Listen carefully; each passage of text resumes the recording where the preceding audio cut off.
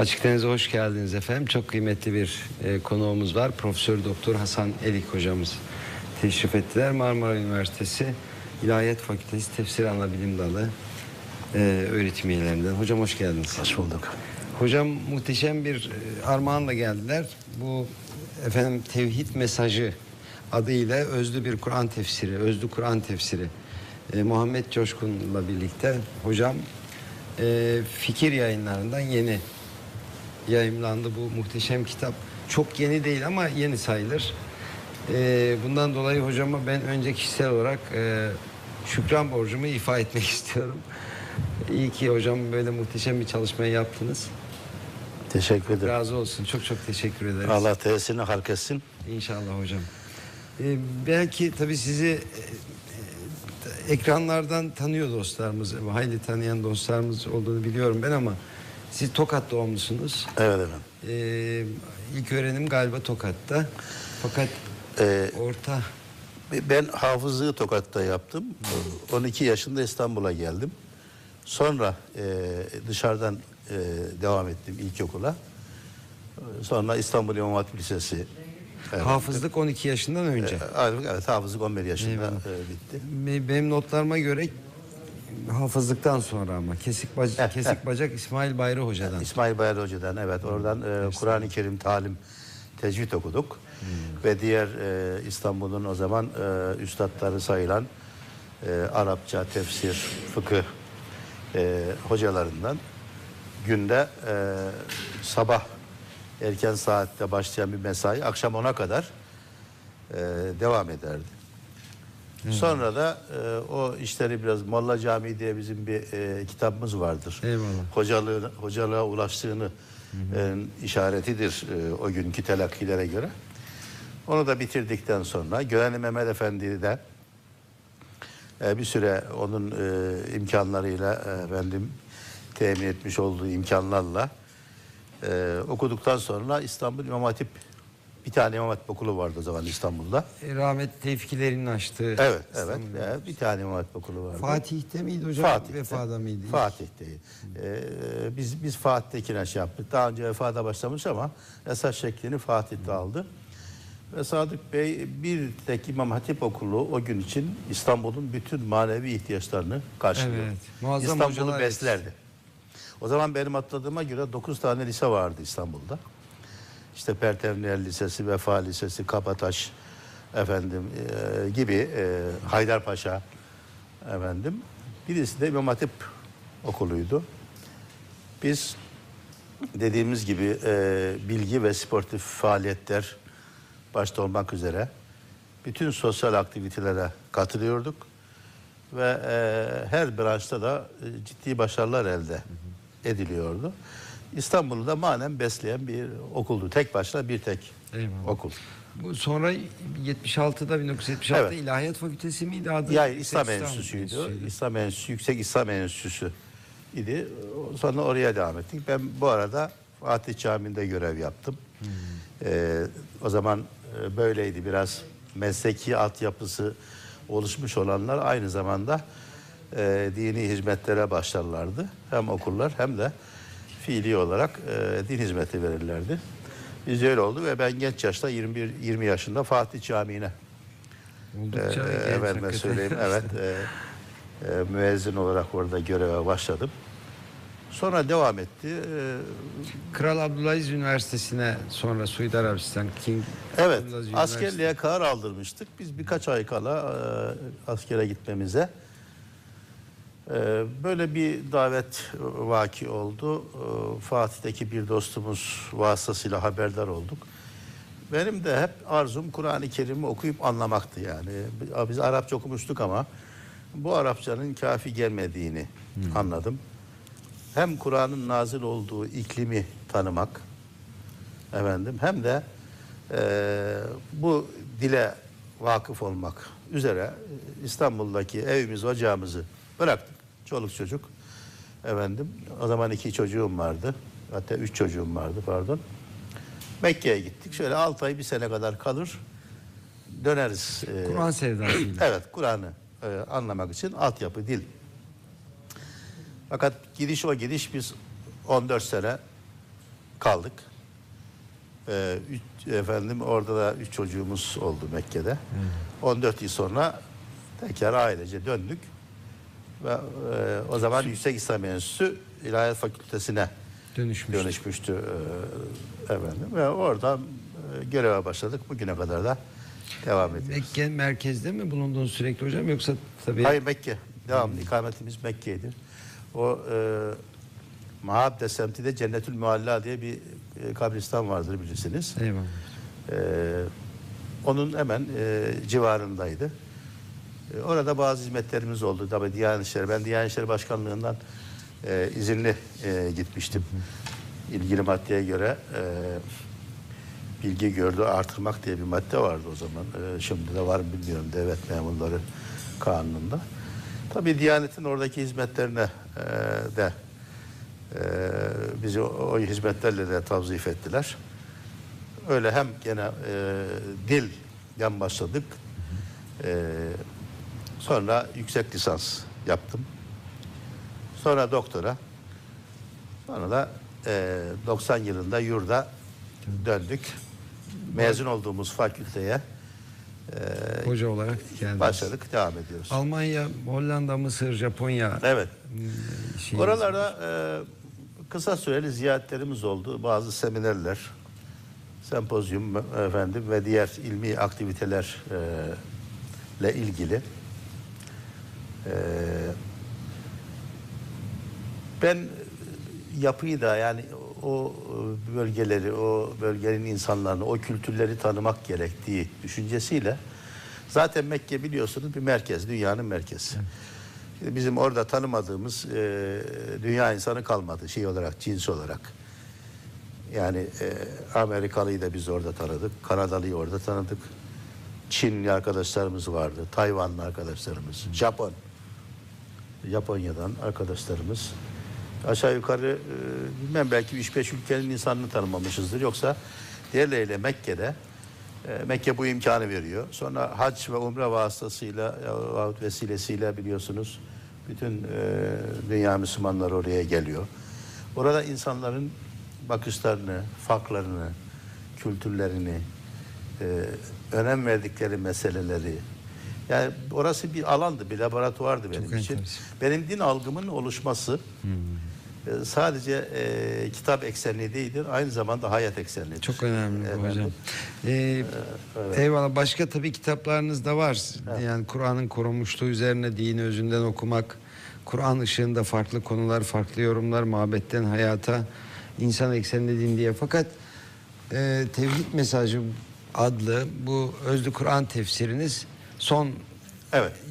yaptığınız o muhteşem çalışma. Evet. Neden böyle bir çalışma yapma ihtiyacı duydunuz hocam? Ben e, önce e, tabi Cenab-ı Hakk'a lütfettiği bu imkanlar için e, şükranlarımızı arz etmek bir görevdir. Ben 9-10 yaşında ezberlediğim bir kitabı e, sonra nazil olduğu ülkelere gitmek kısmet oldu. Oradan döndükten sonra da bu kitap üzerinde çalışmak müyesser oldu. Ee, bunların hepsi bizim planımızla olacak işler değil. Yani bizim tedbirimizin üstünde e, takdirin olduğunu e, her insan gibi ben de e, hayatımda müşahede etmiş vaziyetteyim. Öncelikle bu bir nasip, bir kısmet meselesi. İkincisi ise ben dediğim gibi e, çok küçük yaşta yani 13 yaşından 12 yaşından itibaren tefsir okudum. Celaleyn tefsiriyle biz başladık o zaman. E, kısa bir muhtasar tefsir olduğu için. Başka tefsirler okuduk. Semahşehir'in tefsirini okuduk. Efendim diğer kaynaklar okuduk. Tefsirler çok uzun. Yani tefsirlerin içinde Kur'an kayboluyor gibi gördüm ben. Eyvallah. Yani konuyu tabi erbabı için gerekli onlar. Ee, yıllar sonra bu çalışma için bana onun ne kadar büyük bir hazine teşkil ettiğini anlamış olduk. Evet. Ama ilk bakışta kayboluyorduk o şeyin arasında. Yani 22 cilt, Evet. 18 cilt, Evet, 34 cilt. Doğru. Böyle Doğru. evimizde Evet. var tefsirler. Var, korkutuyordu. İhtiyaç duymadıkça da evet. Evet, Baştan sona zaten okunan bir şey de değil değil mi hocam Evet aslında? tabii tabii tabii değil. Yani ehli veya çok zorunlu olmadıkça. Tetebbuat kitabı bunlar Eyvallah. tabii bu anlamda eserler. Sonra diyordum neden bu kadar e, uzun bunlar? Kur'an-ı Kerim'in aslı bir cilt. 600 sayfadan ibaret. Neden 30 cilt, 40 cilt tefsir? Bu beni meraklandırdı. İkincisi e, sonra lafzı çeviriler Türkiye'de mal diye şu anda bildiğimiz e, lafzı çevirilere onlar kısa olduğu için yöneldik. Fakat oralarda da tabii lafzı çevirinin sınırları içinde kalmış olmak e, şeyi daraltıyor, imkanı daraltıyor. E, ayetlerin vermek istediği mesaja tam ulaşamıyoruz. Evet. Bundan dolayı dedim yani şey yapılamaz mı? Yani bunun e, bir ciltlik bir Kur'an mesajı aktarılamaz mı? Yani bu bu kadar uzun olmayı gerektiriyor mu mutlaka dedik. Bu gözle bütün eski kaynakları tedebbuatta e, başladım. Gördüm ki meselenin aslı uzun değil. Mesele bizatihi uzun değil. Ciltlere bağlı olabilecek bir şey yok. Fakat Kur'an'ın nazil olduğu döneme gitmek için e, kullanılan vasıtalar çok, rivayetler çok. Falan böyle rivayet etti, falan sahabeden bu bilgi geliyor. İşte e, falan e, tabi'in aliminden şu bilgi geliyor tarzında e, yan şeyler yani araçsal bilgi diyeceğimiz şeyler e, alıyor. Yoksa işin özü çok rahatlıkla tek ciltte toplanabilecek e, vüsatte. E, dolayısıyla şunu gördüm. Tefsirlerin hacminin çokluğu aslında bütün o, o çokluk, o rivayetlerin çeşitliliği bir tek doğruyu yakalamak için. Yani o bir tek doğruya acaba hangisi doğru meselesinin cevabını vermek için yüzlerce binlerce rivayeti e, araştırmak durumunda kalıyorsunuz.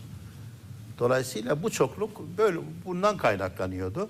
Biz de dedik ki biz bu şeyi tabii burada e, kendisine teşekkür ediyorum. Muhammed Coşkun e, bizim yüksek lisansıyla beraber çalıştığımız doktorasını da şimdi tamamladı.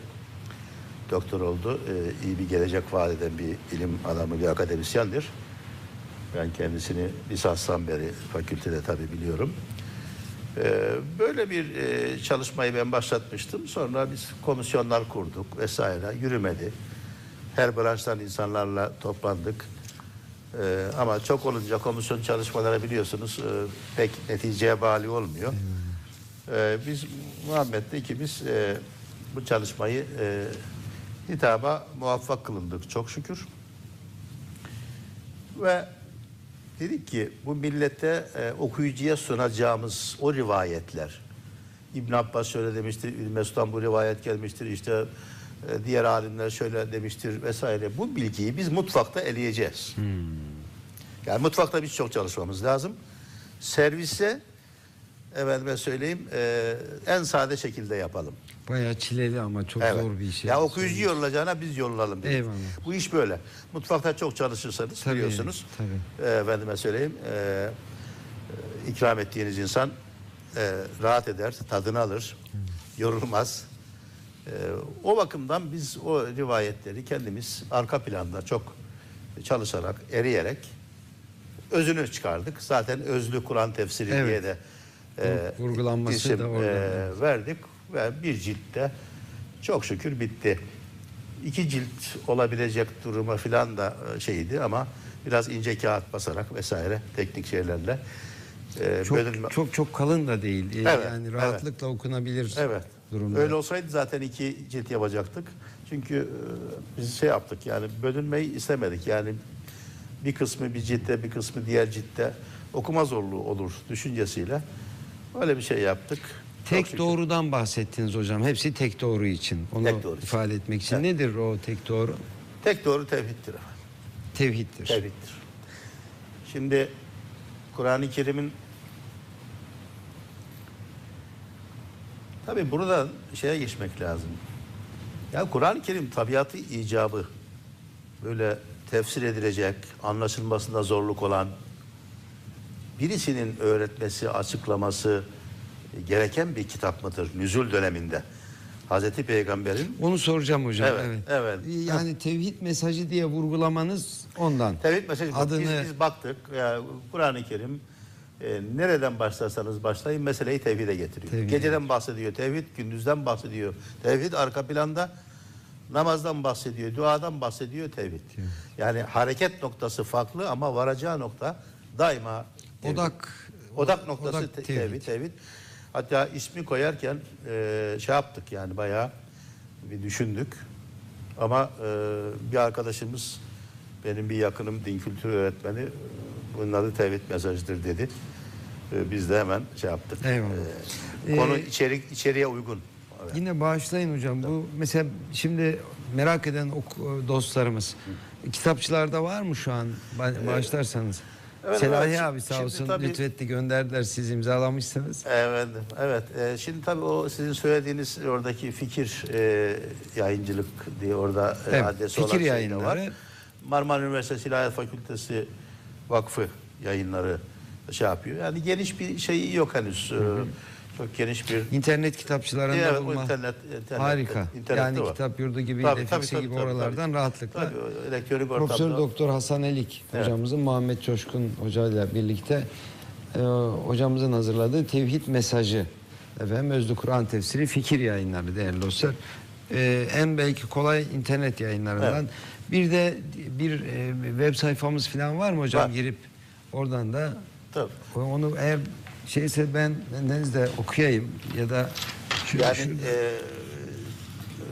e, şeyde bu eserin eyvallah ulaşmak için e, Ya da adreslerini vereyim Tabii, tabii, hocam. vardır. Eğer izniniz olursa bağışlayın. tabii, Bunları tabii, verelim tabii, çünkü tabii, dostlarımız tabii, bunları merak edeceklerdir. Tevhid mesajı, Özlü Kur'an tefsiri Profesör Doktor Hasan Elik, Muhammed Coşkun hocamız. Efendim fikir yayınlarının e, irtibat adres ve telefonlarını da vereyim ben değerli dostlarımıza merak edenlere. 0216 545 55 66 0216 545 55 66 Ee, bilgi için bilgi et fikiryayıncılık.com.tr bilgi et fikiryayıncılık.com.tr ee, isteme için de sipariş et fikiryayıncılık.com.tr Mi- www.fikiryayıncılık.com.tr'den de zaten bilgilenebilirsiniz efendim bu konuda. Ee, Şimdi hocam Kur'an'ın özellikle nüzul döneminde bir tefsire yorumu olup olmadığına ilişkin soru soracağım ama birkaç küçük sorum var eğer izniniz olursa. Mesela tefsir ne demek? Meal ne demek? Tevil ne demek? Hani bu bağlamda e, birazcık Doğru, bizi doğru. kavramsal olarak eğer Evet. E, lütfederseniz. Estağfurullah. Efendim e, tabii e, bu işin bu yani bu kavramların çeşitli e, bunlar bir ıslah malum terim. Çeşitli e, tanımları var e, bu disiplinde tefsir tarihinde tefsir usul ilminde. Fakat ben e, bu çalışmadan hareketle e, bunun sonucu olarak daha e, geniş bir ve yalın e, sade bir tanım yapmak isterim. Yani tefsir Kur'an-ı Kerim'in ne dediğini, nüzül dönemi, nüzül döneminde ne dediğini, nazil olduğu ortam için hangi mesajı verdiğini anlamak. Bu tarihsel ortam ve bağlamını Evet. gözeterek Evet, evet, evet. Mana nüzül dönemi. Anlam- ne demek istediğini anlamak. Ne demek istediği. Tevil ya ve buna şey diyor ki e, Maturidi e, tefsir nüzül dönemine şahit olanların hakkıdır. Aa çok ilginç. Yani sahabenin hakkıdır. Eyvallah. Tevil ise ulemanın vazifesidir. Tevilin evvele götürmek mi manası Yani şey olarak? tevil, tevil aslında... Bir deconstruction diyebilir evet, miyiz onun için? Evet yani e, o da çok karışık bir tanımlamayla işte aslında icat etme vesaire gibi. Kökene gitme gibi. Ben şöyle anlıyorum. E, Maturidi'nin de bu şeyinden e, istifadeyle.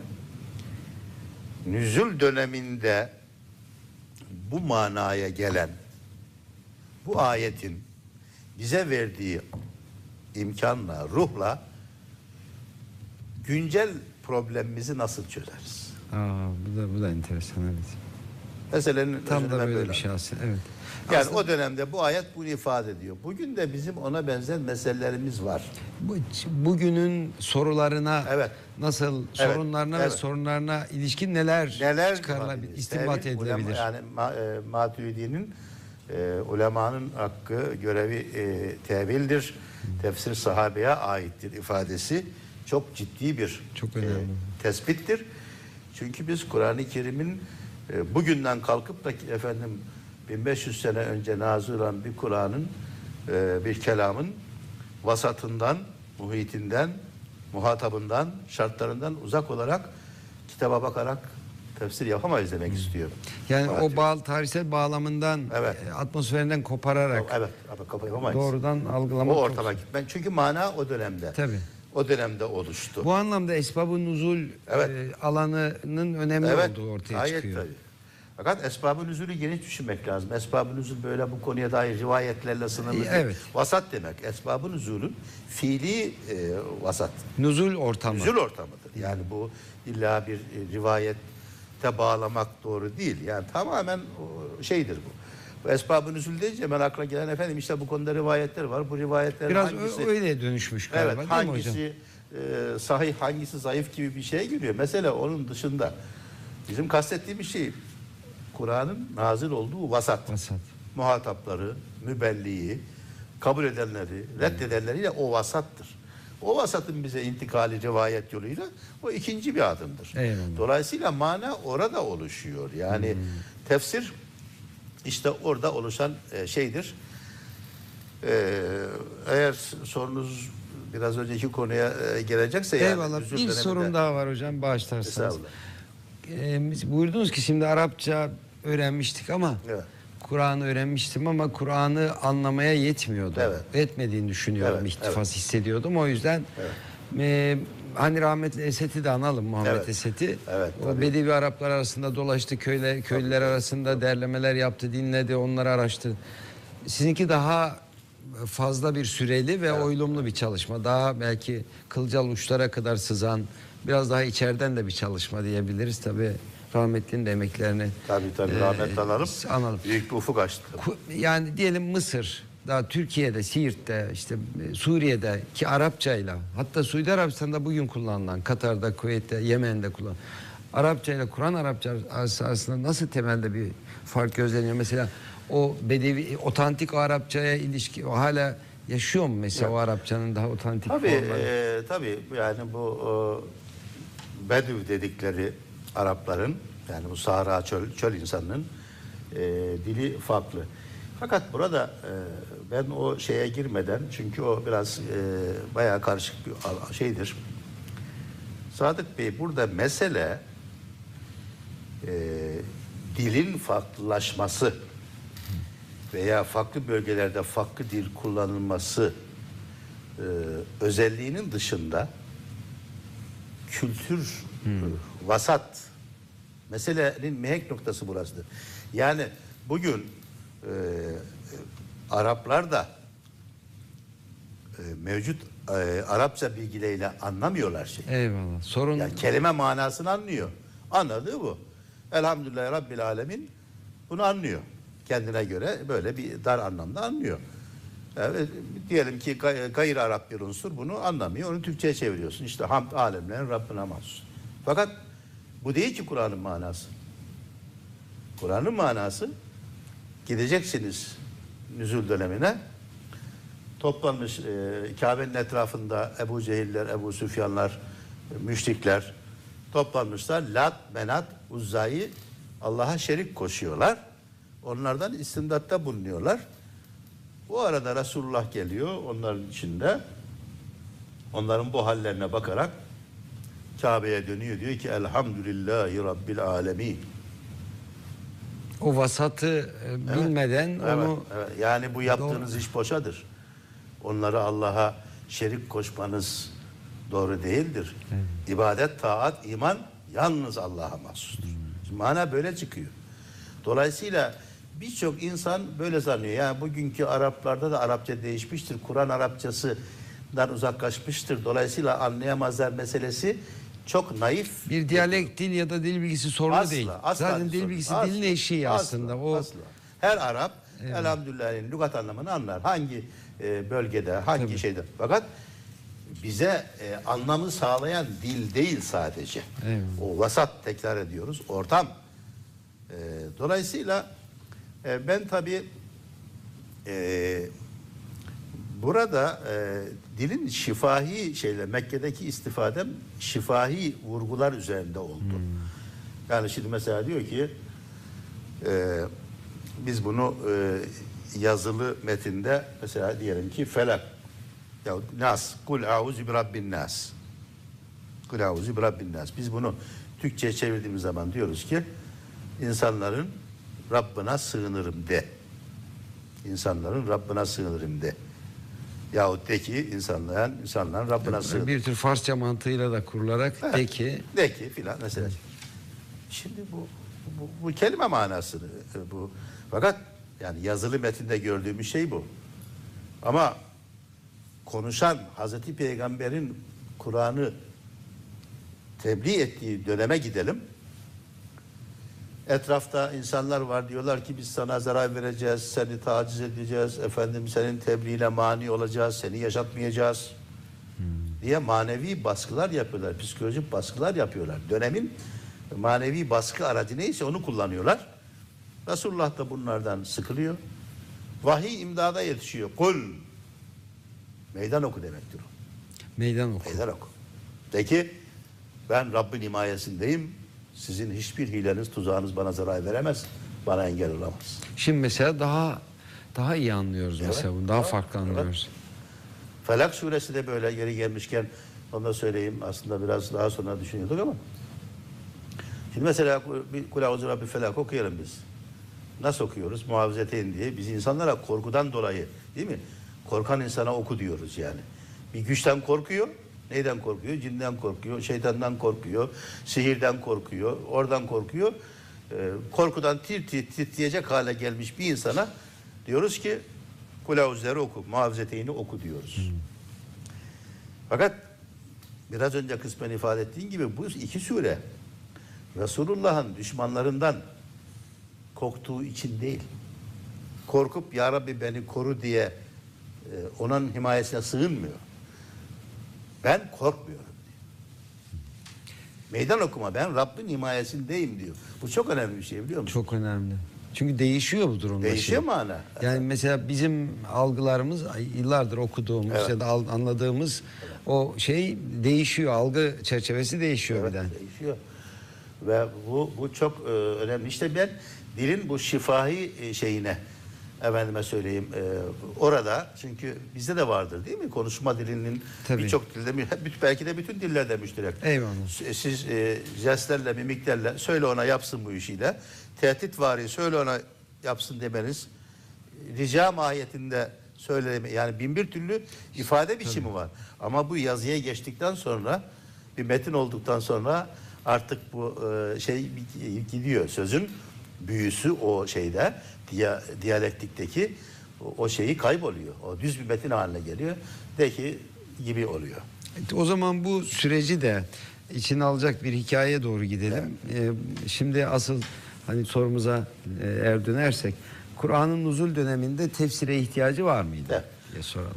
Kur'an nüzul döneminde tefsire ihtiyacı yok.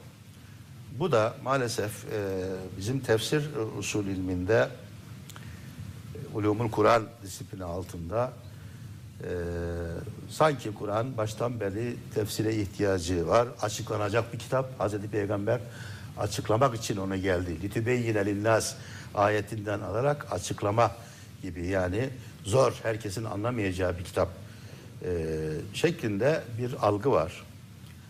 Ama e, bazı ulema der ki hayır böyle değildir. E, kültürler aynı kültürün içinde yaşıyor insanlar, aynı dili konuşuyorlar. E, kalkıp bir peygamberin hitap ettiği, hidayete davet ettiği bir topluma anlaşılmayacak, anlayamayacak garip bir e, efendim bir kelamı tebliğ etmesinin anlamı yok. Bunun mantığı şey mantığı yok yani. Yani mantığı Çok- yok.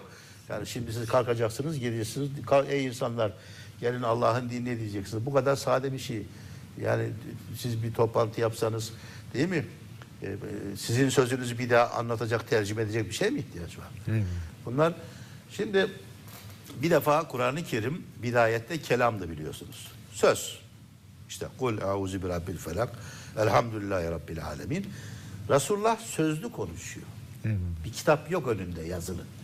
Sözle tebliğ ediyor. İnsanlar da dinliyor bunu.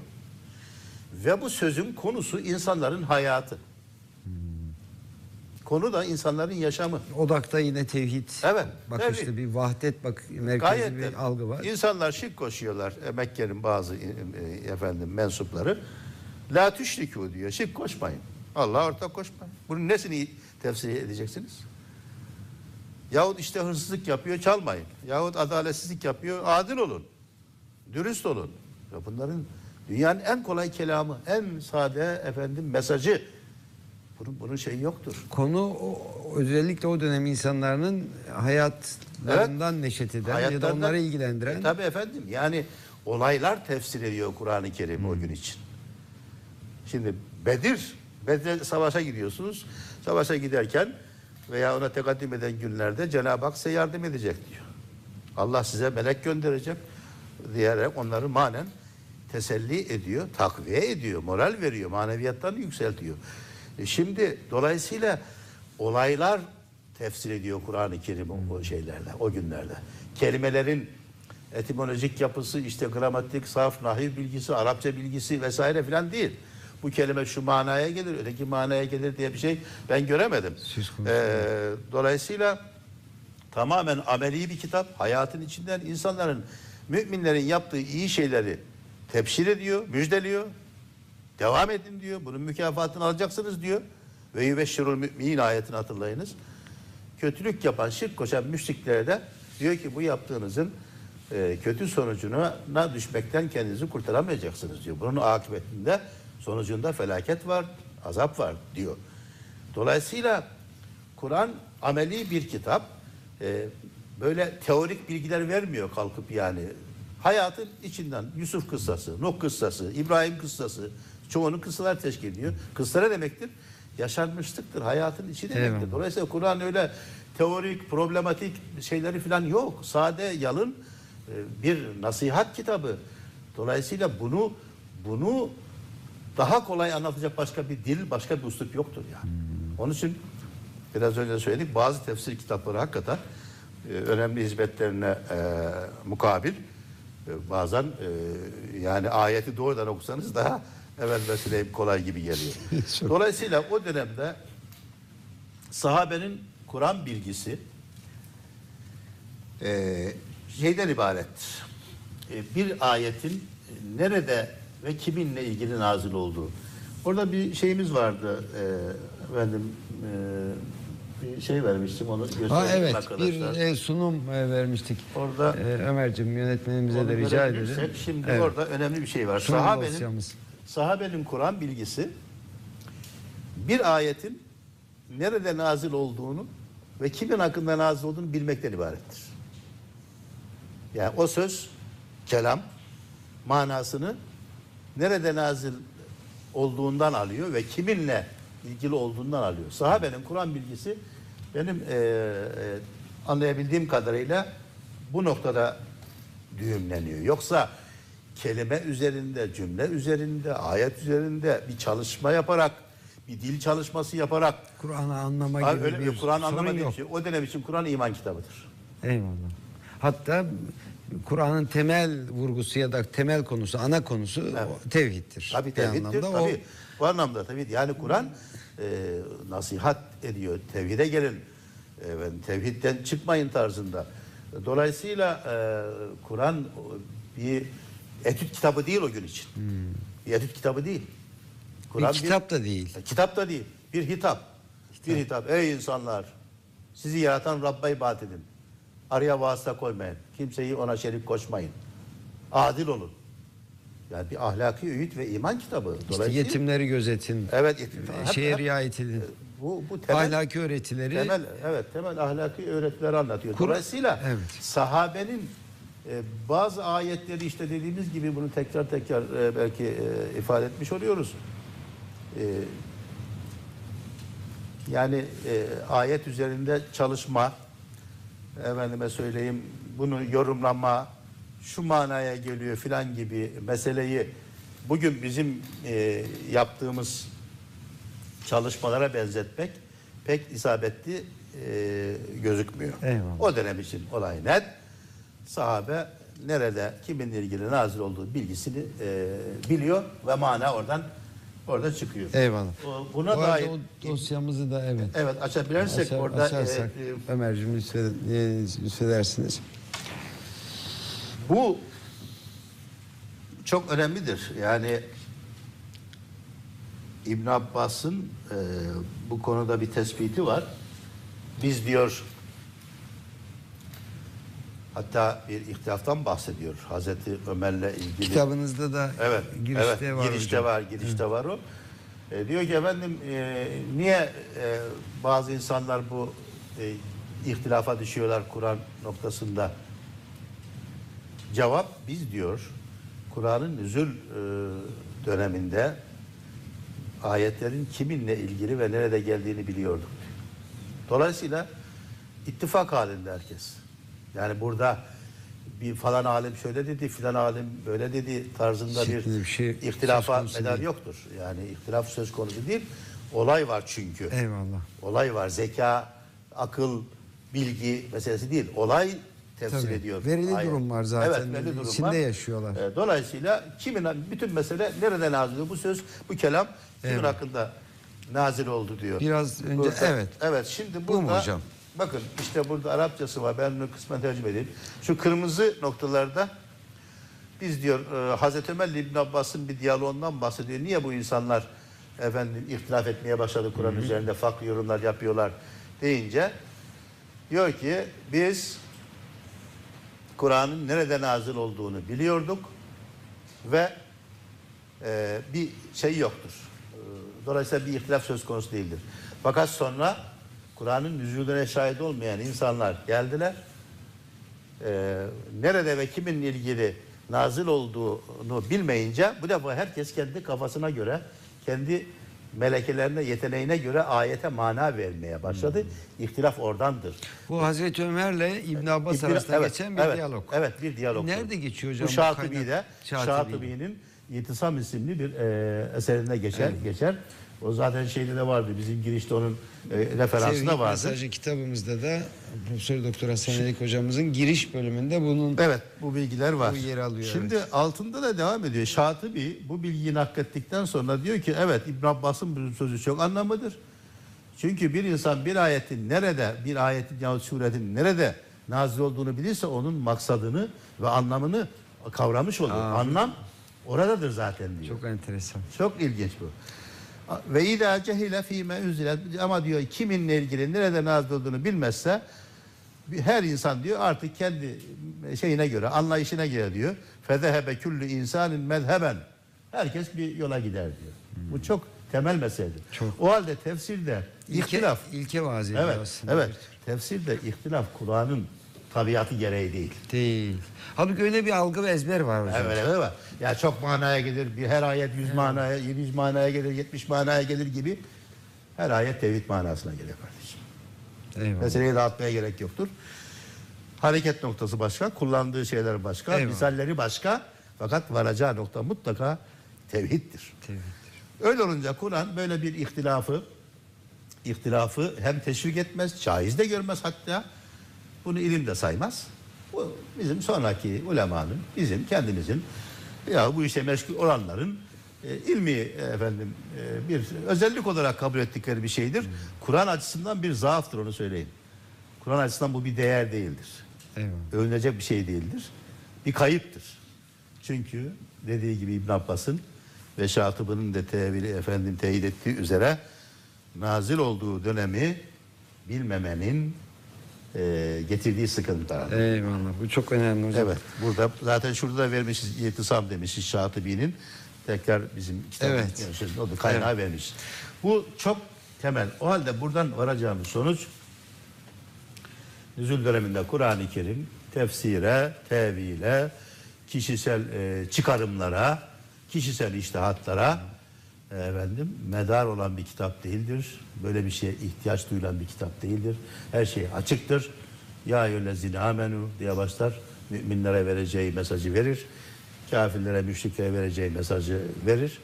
Bütün mesele kime söylendi bu söz? Onu, onu bilmekle alakalı bir şey. Kim söylemiş, Evet. kime söylemiş, Evet. hangi bağlamda ve hangi gerekçeyle nedenle söylemiş. Tabii burada mesela ya bir söz İbn Teymiye der ki muhatabı ve mütekellim belli olmayan bir söz anlaşılmaz. Evet. Şu anda bizim sıkıntımız Kur'an-ı Kerim'deki bu hitabın kime olduğunu biz bilemiyoruz. Bilemeyince söz ortada kaldı. Ama sizin yaptığınız da bir tür yapı söküm gibi hocam. E bu biz çalışma. işte tabii bu çalışmanın yani özelliği bu. ezberleri Evet. bozan bir şey bu anlamda. Yani nüzül dönemine gidip muhatabını bulduk. Evet. Elimizde o kaynaklar var çok şükür. Yani çok önemli. Ve hadis rivayetleri bu iş için çok önemli bir kaynaktır. Sahih, Siyer, sahih otantik kaynaklar gayet Ha, gayet zengin. çok güzel şeyler var. Mesela e, 150 Hicri 150'ye kadar 150'dedir mukatil mukatil bin. Süleyman. Çok e, çok önemli. Bu kaynak var. Taberi 310'dur efendim vefatı hicri olarak. Bütün bu konudaki şeyi derleyip toparlamıştır. Çok büyük bir kaynaktır. Yani bazı şeyler olabilir. Pardon? Zemahşeri nasıl E, hocam? Zemahşeri tabii Zemahşeri filolojik olarak E, yani. e, aynı vilayet- linguistik açıdan da çok tabii, kıymetli galiba. e, şeydir. Ama dediğimiz gibi biz bu çalışmada e, rivayet odağı yani haberdir rivayet. İbn Abbas'ın vurguladığı o Evet, o mesele şey, o. O sizi Meselenin- herhalde evet. hareket çok Bizim ilgilendiren- hareket noktamız o. Meselenin püf noktası da bana Evet. göre bu. Yani e, mesele böyle e, kelimelerden mana e, çıkar. Dediğimiz gibi biraz önce söyledik belki tekrar olacak. Sahabenin yaptığı, sahabenin bize naklettiği mesele e, bilgi sahabenin kafasından çıkardığı bir olay değil. Tabii. Zanni bir şey, Zanni, spekülasyonlar değil. şey değil. Değil. Ben gördüm diyor bu ayet diyor. Biz Bedir'e giderken bu ayet falan yerde nazil oldu. Eyvallah. Ondan daha sahip bir bilgi olamaz. Ya, yani. biz oturuyorduk. E- Ebu Cehil geldi. İşte Resulullah'a karşı şu şey yaptı. Bu ayet geldi. Onun üzerine bu ayet. Mesela bu. Onun için sahabenin ve rivayetin bizim için anlamı olaya şahit olmalardır. Tanık olmalardır. Eyvallah. Yani şimdi siz bir haberi tahkik etmek için ne yapacaksınız? 500 sene önce bir olayı araştırıyorsunuz. Dünyanın en e, donanımlı tarihçisi olsanız, en zeki araştırmacısı olsanız, en hassas yani nasıl nasıl bulursunuz? Halbuki o köyde yaşayan sade bir insan sizin 110 yıllarca Tabii, onun emeğiniz ulaşamadığınız için işte biz burada duruyorduk falan adam geldi öteki buna böyle söyledi gayet basit bir şekilde anlattı. Haberdir. Haberde şey olmaz. Haberde e, haberde aklın zekanın şeyi olmaz. Olmaz tabii. O yorumda olur. Tevil dediği bir şey işte. O, o zaman devreye girer. Eyvallah. Dolayısıyla sahabeye bu anlamda çok ihtiyacımız var. Çünkü olayın şahitleridir. Baştan söyledik Maturidi de sahabenin hakkıdır tefsirdeyken bunu Eyvallah. kastetmiş. Siz onu vurguluyorsunuz birkaç söyleşinizde de Evet, rastladım. evet, yani evet. sahabenin Evet. bizim açımızdan, Evet. Kur'an açısından e, kıymeti, anlamı nedir? Evet. Buna ilişkin. Şimdi bağışlarsanız hocam. Şimdi şöyle bir sorun, ben de kişisel olarak bunu çok yaşadım, yaşıyorum. Ben Kur'an'ı Arapça bilmiyorum. Kur'an'ı hafız değilim. Kur'an'ı okuyup anlamak istiyorum. Evet. Rabbimin ben bana emirlerini e, bilmek istiyorum, öğrenmek istiyorum. Bunu en kestirme yoldan, en sağlıklı ve en sahih biçimde öğrenmek istiyorum. Problemi bugün Türkiye'de yaşayan, e, Türkiye ile sınırlı tutalım. İnsanların herhalde en yaygın problemler, sorunlarından bir tanesi. Çok.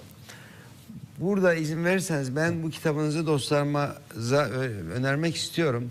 Değerli dostlar ben daha önce Muhammed Esed'in me, meali e, tefsir, e, tefsir meali ile birazcık şey yaptım. E, me, me- meşgul bahil oldum. Evet. Ondan biraz istifade etmeye çalıştım ama sizin bu kitabınızı okuyunca e, bu aradığımı bulduğumu düş, gördüm. O yüzden dostlarımıza bunu tekrar vurgulamak isterim efendim. Böyle bir problemi olan herkesin, olmayan da herkesin aslında e, bu kitaptan mutlaka edinmesini salık veririm. Bunu uzattım lafı bağışlayın. Evet. Teşekkür ederim. Şimdi- Burada sizin söylediğinizde şu- zaten biz burada şunu dedik. Bunun amacı okunduğu zaman anlaşılacak. Eyvallah. Şurada bizim bir kitapçık var daha bunu ge- geliştiriyoruz. Bunun özelliği okunduğu zaman anlaşılacak. İki, vahyedildiği ortamı yansıtacak ve yaşatacak. Nüzül ortamının havasını hissedecek insan. Ve bu anlamda sahasının örneği sayılabilir diye bir şey yaptık. Dolayısıyla bu- evet e, çok şükür burada bir anlama problemi, problemi yok. Ve doğru anlama hani. Evet, evet, O evet, çünkü evet. şimdi e, Kur'an'ın ana konuları, ana konusu nedir? Ana konular nedir hocam? Evet. Hani rahmetli Fazıl Rahman'da analım. Ana konularıyla Kur'an diye güzel de bir kitabı var. Ondan da Evet, çok evet ben de, ben istifade de okudum etmiştim. işte ben de. Sizce Kur'an'ın temel ana konusu, ana konuları nedir? Efendim insanlığın temel sorunu neyse Kur'an'ın ana konusu. Ee, tarih boyunca insanlığın e, bildiğimiz üzere ana konusu e, yahut ana sorunu ilah sorunudur. Ve kendisinin konumudur. Ben neredeyim?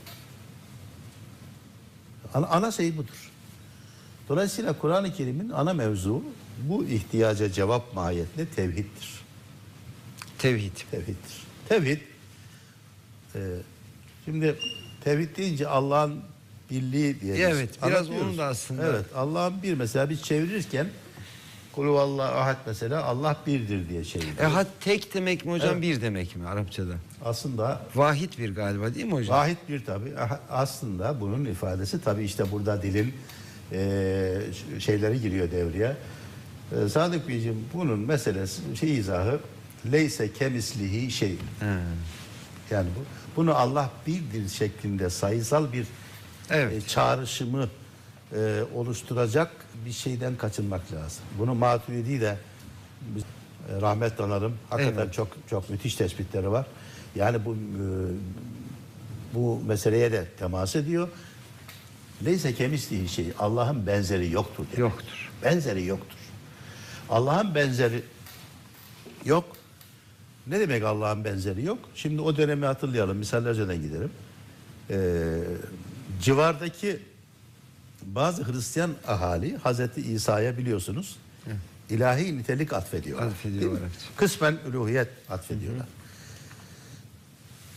Ee, gene bölgedeki e, Yahudilerden, Yahudi halktan bir kısmı Üzeyr'e değil mi? Uzeyr'ün İbnullah diyorlar. Ona bir kutsiyet atfediyorlar. Yani kaderimize etki edecek, elimizden tutacak e, yüce insan diyorlar. Mekke müşrikleri diyorlar ki El melaiketü benatullah. Melekler Allah'ın kızlarıdır. Biz onlara saygı duyarız, onlara tazip ederiz ki evet Allah'ın nezdinde bize kurtarıcılık etsinler, bizi kurtarsınlar diyorlar. Ayet buna cevaptır. Kul huvallahu ahad. Üluhiyet vasfı kimsede yoktur. Ne İsa'da vardır, ne Üzeyr'de vardır, ne de meleklerde var. Bu çok önemli bir şey. Eyvallah. Bunun sayısal, bu deklar ediyorum, sayısal bir gibi algılanmasının ancak çünkü zaten ayette var. Neyse kemisi şey, hiçbir şey ona benzer, hiçbir şey onun gibi değildir, dengi değildir. Dolayısıyla Kur'an ana meselesi tevhid. Fakat bu tevhid din bir e, uzantısı var. O da vahdet. Arada na- ne- nasıl evet, vahdet. var hocam? Vahdet de insanların birliği ve eşitliği. Hiçbir insan yaratıcı, hiçbir insanın kaderini başka bir varlığın eline vermemiştir. Hmm. Ya Allah'ın e, e, Allah'ın birliğinin bir tür yansıması Evet. olarak insanların ve varlığın da e, Evet birliği. Bu bir birlik eşitliği- meselesi yani eşitlik müsavi. Kimsenin kimseden e, bu anlamda üstünlüğü yok. Kimsenin Allah nezdinde e, efendim üstün bir değeri başkasını kurtaracak veya başkasına zarar verebilecek e, öyle bir e, kutsiyeti yok istiyor. Bu çok önemli. Ahmet Hamdi Akseki merhum da İslam kitabında bu noktaya çok başarılı bir şekilde temas eder. Dolayısıyla tevhidle vahdeti asla ayırmamak lazım. Allah birse peki bize bize şey ne bunun? Ali Şeriati de bu konuda çok e, şeydir biliyorsunuz. Çok e, e, hassas araştırmaları vardır. Yani Allah'ın birliği insanlığın birliğine ve eşitliğine gerekçedir. Biz Bizi burada- bizi bırakmıyor kimsenin. Buradan bir kozmik, bir alem şumul bir şeye varıyoruz aslında. Gerçekliğe varıyoruz. Yani tevhidden, hakkın birliğinden Evet. E, Tabii varlık bildiğine. aleminde, varlık dünyasındaki bir Evet. ilk şeye varıyoruz. Bir gerçekliğe varıyoruz. Evet. Ya şimdi Kulâuzu bi Rabbin Nas'da mesela bazı müfessirler der ki Allah bütün insanların Rabbi. Belli insanların değil. Çünkü Eyvallah. bir takım insanlar biz daha yakınız efendim Tanrı'ya e, diyerek çeşitli yani tarihte çok şeyler olmuştur biliyorsunuz. Elhamdülillahi Rabbil Alemin'in manası da budur. Allah bunu herkesin Rabbi. Yani kulunu kuluna sahip çıkmadır. Yani tevhid başkasının önünde eğilme. Kimse senden daha üstün değil. Senin kaderini ben ve senin hareketlerin birlikte oluşturacak demektir. Kimseden korkma. Kimseden çekinme. Kimsenin önünde eğilme. Yani bu şirke şeydir. Eyvallah. Eleştiridir. Tevhid meselesi. Yoksa Allah bir deyip geçmek Evet. mesele. Ge- O da öyle bir ezber var. Evet. Allah- Tevhid Allah'ın birliğidir. Evet, tevhid aynı zamanda insanın e, insanın özgürlüğüdür. Kimsenin karşısında eğilmemesidir yani. Çünkü Rab hepimizin eşit seviyede Rabb'ı. Yani işin bu tarafları Kur'an hep bunları bizim anladığımız kadarıyla bunu inceliyor. Dolayısıyla e, kul huvallahu ahad diyoruz bu anlamda. Allah'ın e, özelliği kimsede yok. Kimse kurtarıcı değildir. O halde kimsenin önünde eğilmeyin. Kul auzu bi rabbi felak. Sana birisi zarar vermek istiyor. Ben Rabbin himayesindeyim. Kimse kimse bana zarar veremez diyoruz. Elhamdülillahillezî diyoruz. Yaratan Rabba halakas semavati vel ard. Hamd onadır diyoruz. Gene tevhid. Tebarekellezî diyoruz. Gene tevhid. Fahrettin Razi'nin çok güzel bir tespiti var. Diyor ki Fatiha'daki İyyâke nâbidü ayetini tefsir ederken bu diyor bu kelime yani ancak sana ibadet ederiz manasındaki bu ayeti tefsir ederken bunu diyor en iyi tefsir şöyle olabilir. La ilahe illallah ne demekse İyyâke nâbidü bu demektir. Aa müthiş. Kaimin makame la ilahe illallah. Buradan hareketle rahatlıkla söyleyebiliriz ki bu bana bir ilham kaynağı oldu. Kur'an baştan sona tevhiddir. Ra- Razi de- Evet, Fahrettin Razi. değil mi? Ra- Fahrettin Razi yani İyyâke nâbudu yalnız sana ibadet ederiz ayetini tefsir ederken o Fatiha'yı yani yüzlerce sayfada tefsir ediyor. Efendim İyyâke nâbudu ancak böyle anlatıyor. Diyor ki bu kaimin makame la ilahe illallah. O halde Kur'an tamamı la ilahe illallah'ın açılımıdır. Yani bunu ne kadar teferruata boğarsak o kadar e, etkisini kaybeder. Maalesef son Bizim zihnimizin e, insanların bu bu tevhidden, bu vahdetten uzaklaşması dolayısıyla Kur'an'la arasında engellerin oluşması, anlama sorunun şey bu bunu bu herhalde temelde böyle bir Böyle problem var. Problem. Yani bugün yani uzun bugün Müslümanın da mesela Kur'an deyince siz çevreden siz hem bir e, münevver insansınız hem e, sosyal e, ilişkileriniz çok e, geniş. Yani Müslüman Kur'an okuyucusunun bugün tevhid diye bir kafasında bir algısı var mı? Kur'an'dan hüküm çıkarmak, işte caiz, hangi şey caiz, hangisi e, yasak filan teferruat arıyoruz yani. Kur'an e, Kur'an teferruatla uğraşmaz yani. Kur'an mümine tevhid formasyonu verir. Tevhid mektebinden mezun eder. Diplomasını şehadet. Kelime-i şehadet diploma demektir. eyvallah. Şehadetnamedir yani. Şehadetname derler değil mi Evet. hocam diploma O belgeyi verir. Ondan sonra sen ne yapacağını bilirsindir. Çok enteresan. Fakat tevhidi bilemezse, tevhid bağını sağlayamazsa ömür boyu ne okursa okursun maksada ulaşamaz. Çaresi bunu tevhiddir. tevhidin bir tür sindirilmesi için de Evet. yani yaşamına, Evet. kişiliğine sinmesi için de Kur'an'ı bu bu perspektiften Evet, okuması. evet. Ben yani e, şimdi biz eskiden tabii gençlik yıllarımızda ve bu çalışmanın öncesinde her ayet okurken her ayetten sanki başka bir mana çıkıyormuş gibi geliyordu. Darmadağınık geliyordu yani. Darmadağınık değil. Daha ziyade şey yani çok geniş anlaşılması güç. Her konu var içerisinde. Bu, bu böyle bir sahici Evet. sorun var hocam. Değil mi? Yani Kur'an okuyanlar meal okuyan açısından böyle ciddi bir sorun var. Evet her şey var biz anlayamıyoruz. Zaman gelecek çözülecek şifreler, deşifreler, anlayışlar. Efendim çalışmaya başladık baktık. Nereden Tevhidden başlarsa başka bir şey yok. Tevhid, tevhid varsa tevhid çok önemli bir şey tabii. Şimdi insanlar ya bir tek bu kadar mı demesinler. Tabii tevhid olunca tevhidin icabı ahlak. Tevhidin icabı şirkten uzak ibadet. Eyvallah. Yani tevhid kelimesi çok şumullü. Çok şumullü bir şey ve insanın temel ihtiyacı bu. Bunu karşıladığınız zaman insan ne yapacağını bilir. O odağı bulmadan zaten mümkün değil. değil mi hocam? Yani o- Şimdi Konfüçyüs'ün bir sözü var. Burada bu münasebette onu da ifade edelim. Seni bulan neyi kaybetmiştir diyor. Ve seni kaybeden neyi bulmuştur? Bizim kültürümüzde var bu Doğu kültüründe, Müslüman kültüründe de. Başka bir kültürden örnek veriyoruz. Şimdi tevhidi bulamayan bir insan Kur'an adına Kur'an'dan alacağı bir şey yok. tabii. Tabii. Teferruata çok e, şey yapıldı. Onun için şimdi biz Kur'an telakkimizi tevhid odaklı yapmak durumundayız. Eyvallah. Bu çeşitlilikten her alana, her şeyi Kur'an'da aramaktan odak şeyi kaybetmek. Kaybetmek. Yani bu bu çok önemli bir şey. Eyvallah. Bu yüzden tevhid mesajı adını verdiğiniz kitabınıza Evet, bu, bu tekrar onu yüzden da tevhid vurgulayalım. adını verdik. Çünkü hakikaten başka e, o kadar bariz ki bu. Şimdi biz tabii bu tefsirde konu başlık karnında verdik. Yani e, ilginçtir. Bu, bu şeye gelmişken onu söyleyelim. Lütfen hocam. İlla her ayetin tek tek şeyi yoktur. Evet, Şunu evet, alayım hocam. Eyvallah hocam. Biraz, orada biraz müsvedde şeyler de çizilmiştir. Ee, şimdi ayetler olay üzerine geldiği için bir konuyla alakalı geliyor. Bir meseleyi çözmeye çalışıyor. Dolayısıyla o konuyla ilgili ayetler birleştirilerek çevrilmelidir. Bu da enteresan hocam. Şimdi Bu yani ayeti bölemeyiz. Konu bir çünkü. Tabii. Konu bütünlüğü olan şeyleri efendim de ki vesaire falan böyle böyle şeyler artık e, mesajı vermiyor.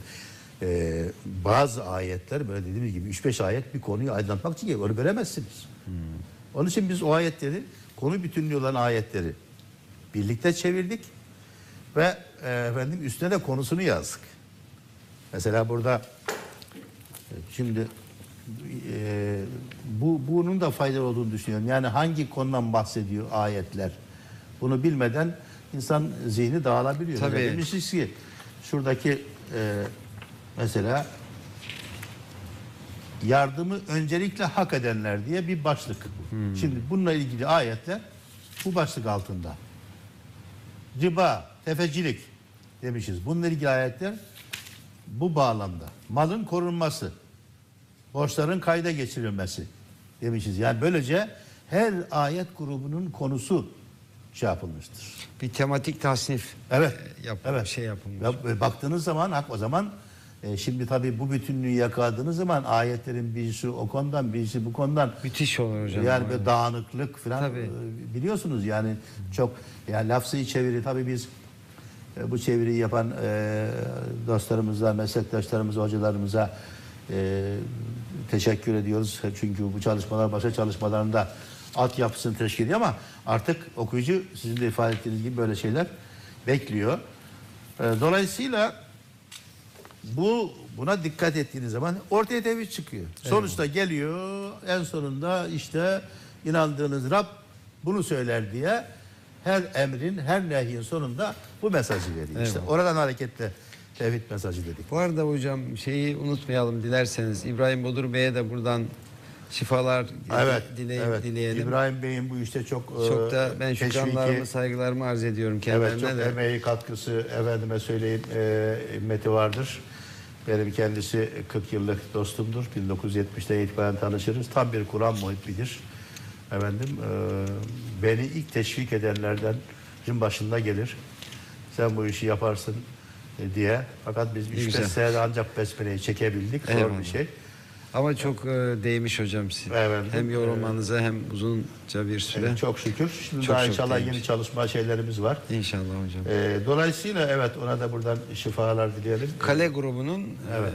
Tabii tabii tabii. Ee, başında başındaki olan insan ülkeye, sanayine çok büyük çok hizmetleri memleketimizin vardı. çok hayırlı bir evladı. Çok, çok çok, hayırlı. çok kıymetli bir büyüğümüz. Onu yaptı. Aynı zamanda ahlaki tarzıyla ülkede çok büyük şeyleri var. Ee, memleket adına, e, Türk sanayi adına teşekkürü Eyvallah. hepimizden hak Şimdi etmektedir. değerli dostlar bu arada eyvallah dostumuza lütfen çayımızı da alalım. Hocama çay ikram edelim.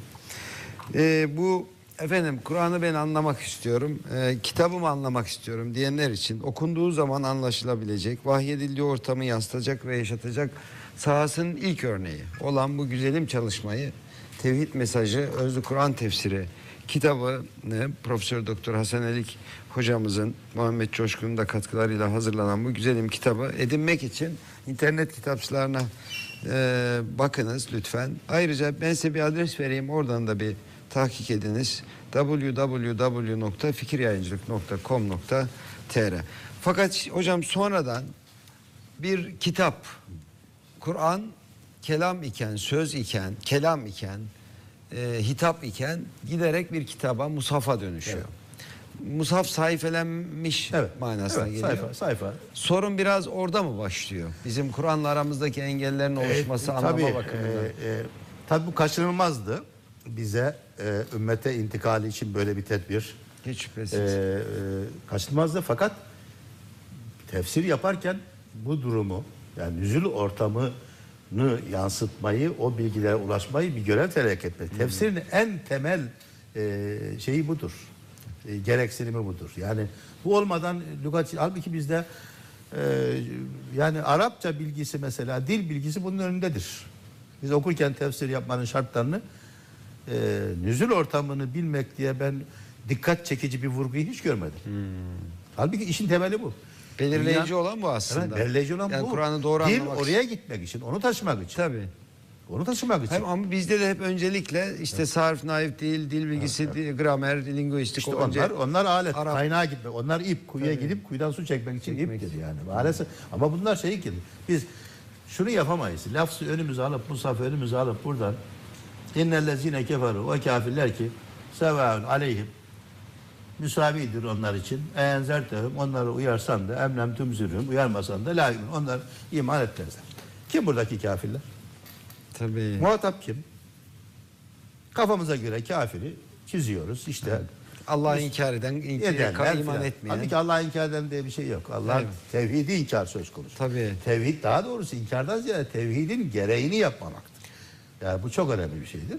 Yoksa o dönemlerde Allah'ı inkar eden mi var? Tevhid formasyonu olmayan kişiye kafir evet, deniyor evet. aslında. Yani Allah'a şirk sizin- koşanlar ya. O da din, dindarlık adına yapıyor. Daha iyi iş yapmasın. Hatta diyor ki Allah diyor bu, bu- bunlara diyor ibadet etmeyi Allah diyor emretti diyor. Vallahu emara biha diyor yani müşrikler. Onlar da dini gerekçeyle yapıyorlar bu işi. Daha iyi dindarlık için. Hatta bütün peygamberlere müşrikler siz dinsizsiniz demiştir. Bütün peygamberler dinsizlik damgasıyla damgalanmıştır. Eyvallah.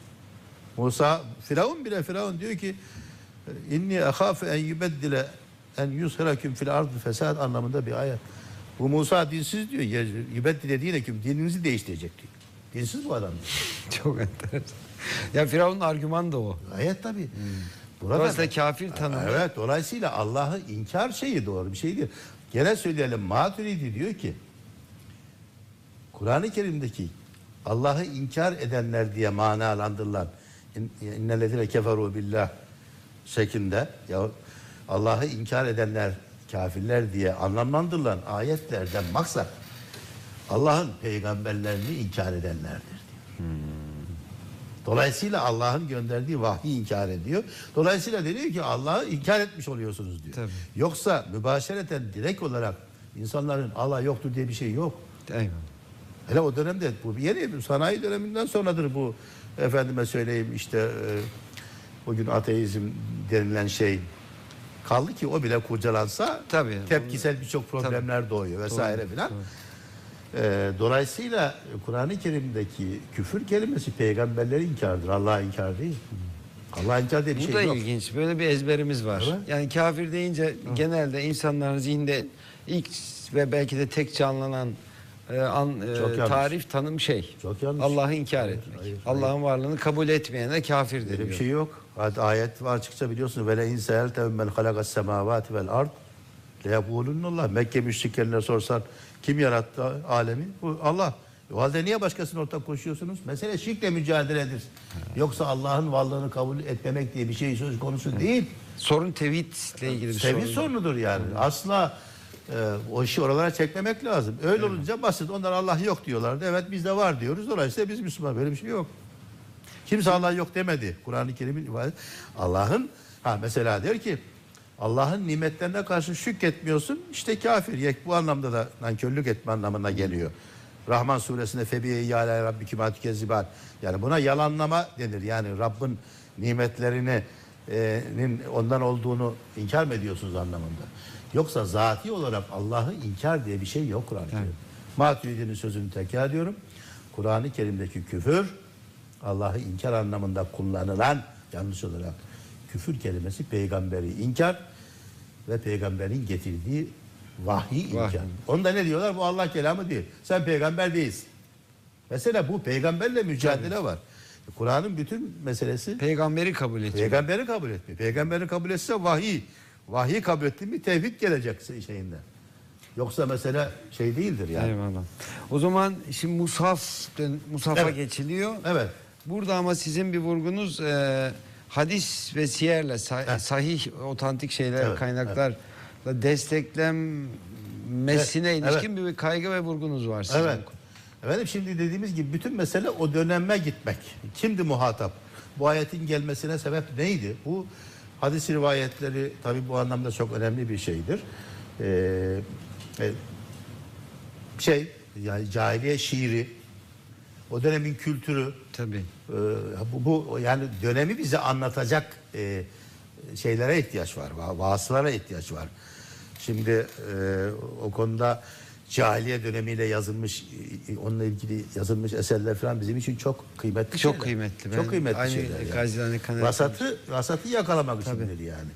Dolayısıyla e, tabii Kur'an-ı Kerim o e, hitap olduğu zaman Hazreti Peygamber'in okuduğu, herkesin rahatlıkla anladığı o kitap e, kitap yani o kelam daha doğrusu kelamı kadim deriz biliyorsunuz sadece kelamı kadim. Kitap haline, musaf haline gelince bu defa e, bu hitap halinde olan vasatta dikkate almadığımız takdirde e, bu defa iş değişiyor. O Bir tekste dönüşüyor evet artık. evet o zaman işte Bir tekst, bir metin Evet, evet, ve dile evet. dönüşüyor. Di- Evet. Dile dönüşüyor evet. E, Dolayısıyla bu e, üslup üslup e, şey yapıyor. E, başka bir hale geliyor. Hitap kitaba dönüyor. Bu defa bu defa biz kitabı tefsir etmeye çalışıyoruz. Nüzül döneminde Kur'an'ı e, olaylar, olgular tefsir ederken kitap olduktan sonra kelimeler tefsir ediyor. Kelimeler. Kelimelerin efendim işte gramatik yapısıyla ilgili, Arap dil bilgisiyle ilgili. Çünkü elimizde başka bir şey e, yok artık. Bulmak için ne yapacağız? İşte hadis rivayetlerine gideceğiz. Efendim diğer sirete, siyere gideceğiz.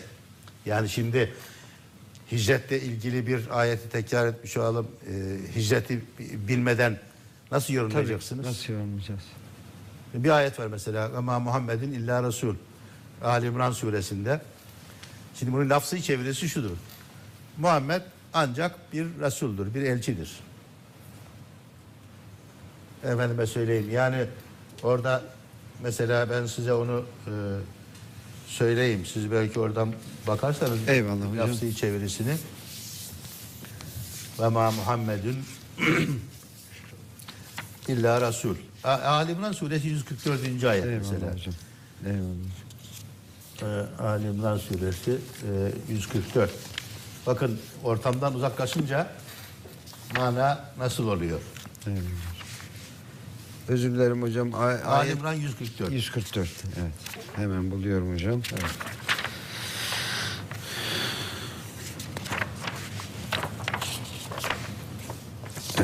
150. Evet şimdi. Muhammed ancak bir rasuldür. Ondan Muhammed, evet. Muhammed ancak bir Resul. Evet. Evet. Ondan önce de rasuller gelip geçmiştir. O ölür veya öldürülürse gerisin geriye mi döneceksiniz? Kim gerisin geriye dönecek olursa elbette Allah'a bir zarar veremeyecektir. Allah şükredenleri yakında mükafatlandıracaktır. Evet. Ya bu iyi bir iyi bir çeviri. Ee, e, mesela öyle çeviriler yapılıyor ki Muhammed bir elçiden başka bir şey değildir. Değildir. diye çeviri yapılıyor. Yani o şey, öyle de yaparsınız. Elimizde bizim başka bir kıstas yoksa, bir ölçüt yoksa Artık siz kendi şeyinize göre çevirirsiniz. Buradan biz aslında biraz da meal mantığına şimdi geç, geçmiş Evet, bulunuyoruz. evet. Bir anlamda bu Evet, meal evet. sorunu. Yani lafzı çeviri diyelim ona. Lafzı çeviri. Lafzı çeviri. Bu, bunu da söyleyelim yani bu lafzı çevirileri yapan insanların başarısızlığından değil bu. Değil. Ve e, bu bu işin mantığı. Mantığı bu bö- böyle. Mesela şimdi burada söyleyelim. Elmalı merhum tefsirde bir üstad. Bunu inkar etmek mümkün değil. Ve ilk büyük Türk müfessiri. Yani Cumhuriyet döneminde biliyorsunuz. Ee, fakat ya, o tefsirindeki ihtişam ama maalle bakın. Maalde durum sıkıntılıdır. Durum sıkıntılıdır. Yani Elmalı'da böyle bir sorun E, şimdi varsa mes- evet. mesela acaba E, tabii şimdi e, mesela e, bir, bir, bir şeye bakalım isterseniz. Adiyat suresi. bu e, Ali İmran 144 ile e şimdi bu alakalı alime yüzgüde ilgili bu, bu çeviri iyi bir çeviri. Mesela bazı çevirilerde işte Muhammed e, elçiden başka bir şey değildir gibi. Yani burada e, bakın ne oluyor? Saygısızlık oluyor. Halbuki burada vermek istenen mesaj elçimiz Muhammed de diğer insanlar, diğer peygamberler gibi ölümlüdür. Ama siz davaya devam edin diyor. Bunun sonu şeydi, bunun devam edeceğim bir şey yoktur. iyi yaptırılmış yani. Mesela bu Adiyat suresine e, eyvallah o enteresan evet. Adiyat suresine bakalım. Bakalım hocam. Bu e, efendim bu 100. suredir biliyorsunuz. Eyvallah hocam. 100. suredir. Şimdi mesela onun yani Evet lafzı hocam. çevirinin sıkıntılarını anlatmak için söylüyoruz. Mesela onu okuyabiliriz. Hocam bu yer gelmişken kısacık bir parantez açalım mı? buyurun. Ee, Besmele'yi nasıl an- Aa. anlamamız lazım? Besmele Müstakil çok, çok önemli besmele. Eyvallah. Tevbe suresi dışında Evet. Şimdi besmele, besmeleyi de besmeleyi de normalde biz çevirirken ne diyoruz? Esirgeyen, bağışlayan e, Rabbin adıyla, yardımıyla esirgeyen, bağışlayan. Bazen Arapçasını söylüyoruz. Rahman ve Rahim Rahman ve Rahim. Allah'ın adıyla. Biz bu Rahman ve Rahim kelimelerinin e, şeylerine baktık. Ragıp İsfahani büyük Kur'an e, müfessirlerinden birisidir. Diyor ki e, bu seven, bağışlayan, esirgeyen anlamları değil de Allah'la kul arasındaki ilişkiyi dersi diyor. Allah vericidir, kul alıcıdır.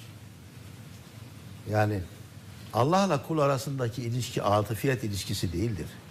His ilişkisi değildir. Hissi ilişkiler, duygusal ilişkiler insanlar arasında olur. Allah alidir. Böyle bir ilişkiden uzaktır. O verir. Daima kulu korur, yaşatır. Rahmetini, lütfunu ihsan eder. Yani Yani rahmaniyeti ve rahimiyeti evet, ö- e, öyle a- a- Evet anlamak. şimdi mesela burada o, o, o konu e, önemli. Siz ona temas ettiniz. Bakınız şimdi diyor ki bizim besmele çevirimiz şöyle Sadık Bey. Rahmetiyle sayısız nimetler ihsan eden ve kulluk edilmeye layık yegane mabut olan Allah'ın yardımıyla. Allah veriyor. Bu ne demektir? E başkası bana bunu yapmıyor ki ben onu Allah'a şerik koşayım. Şirke gönderme var burada. Sadece onun adıyla. Şimdi dolayısıyla bunun e, dipnotunu da şey yapmışız. E, bu çok önemlidir. Yani Allah esirgeyecek, bağışlayacak falan değil. Allah vermiş, ihsan etmiş, bizim bizim yaşantımızı sağlamış. Yani gelecekte olacak bir şey değil. Halen var olan olmakta olan olmakta olan bir durum. Dolayısıyla Allah'la kul ilişkisini böyle seven e, tarzında müşfik gibi e, düşünmeyin. O zaten konuşulmaz. Ama Allah bundan öte bir ilişkiye sahip kullarla. Eyvallah. Bundan öte veriyor. İhsan ediyor, nimetler ihsan ediyor.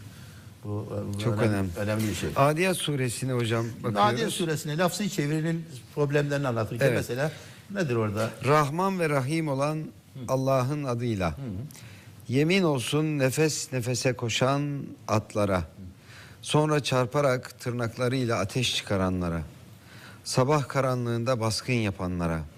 Onunla toz duman çıkaranlara. Sonra onunla bir düşman topluluğun ortasına kadar girenlere. İnsan Rabbine karşı gerçekten çok nankördür. İnsan bu Evet, nankörlüğüne... o kadar kafi. Şimdi işte bu lafzı çeviri. e, şimdi tefsire girdiğiniz zaman tabii bunun izahı var.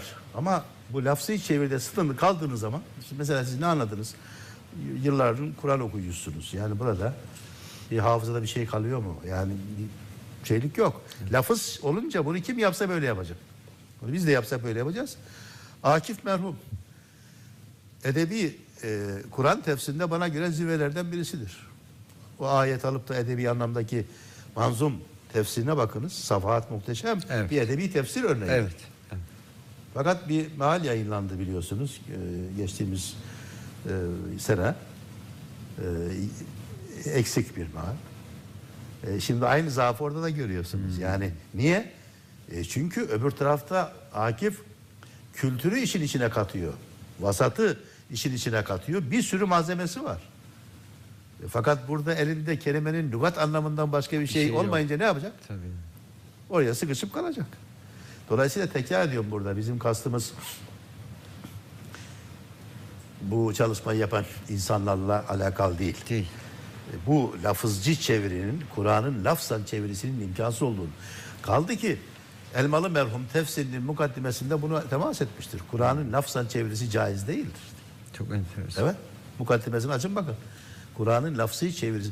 Zaten o dönemdeki Kur'an çevirileriyle alakalı tartışmalara bakarsanız hepsi böyledir. Yani lafzı çeviri, motamot çeviri asla mümkün ve caiz değildir. Hiçbir dili başka bir dile böyle aktaramazsın. Tabii. Mesajı aktarırsın. Şiir mesela çevrilemez denir. çevrilemez. Tabii yani yeniden yazılır. Anlamını çevirirsiniz. Yani bu çok önemli bir şey. Türkçe söyleyen mesela Evet. işte William Shakespeare'ın bir şiirini çevirir tabii. birisi. İşi sizin gibi işin ehliyse biliyorsa. Türkçe söyleyen diye. Evet. Not dip, di, di, dibe yazar. Tabii İs- İstiklal Marşı biliyorsunuz e, Arapçaya çevrildi. Felaket bir şey yani. Onu niye? E, o, o, o kelime çünkü o kelime bizde bir çağrışım yapıyor. Tabii. Ama onun karşılığındaki Arapça o toplum için bir şey ifade etmiyor. Onun için Kur'an çevirilerinde bizim böyle lafza böyle bağlılık, lafza sadakat adına bu. Ama lafza, lafza sadık kalalım.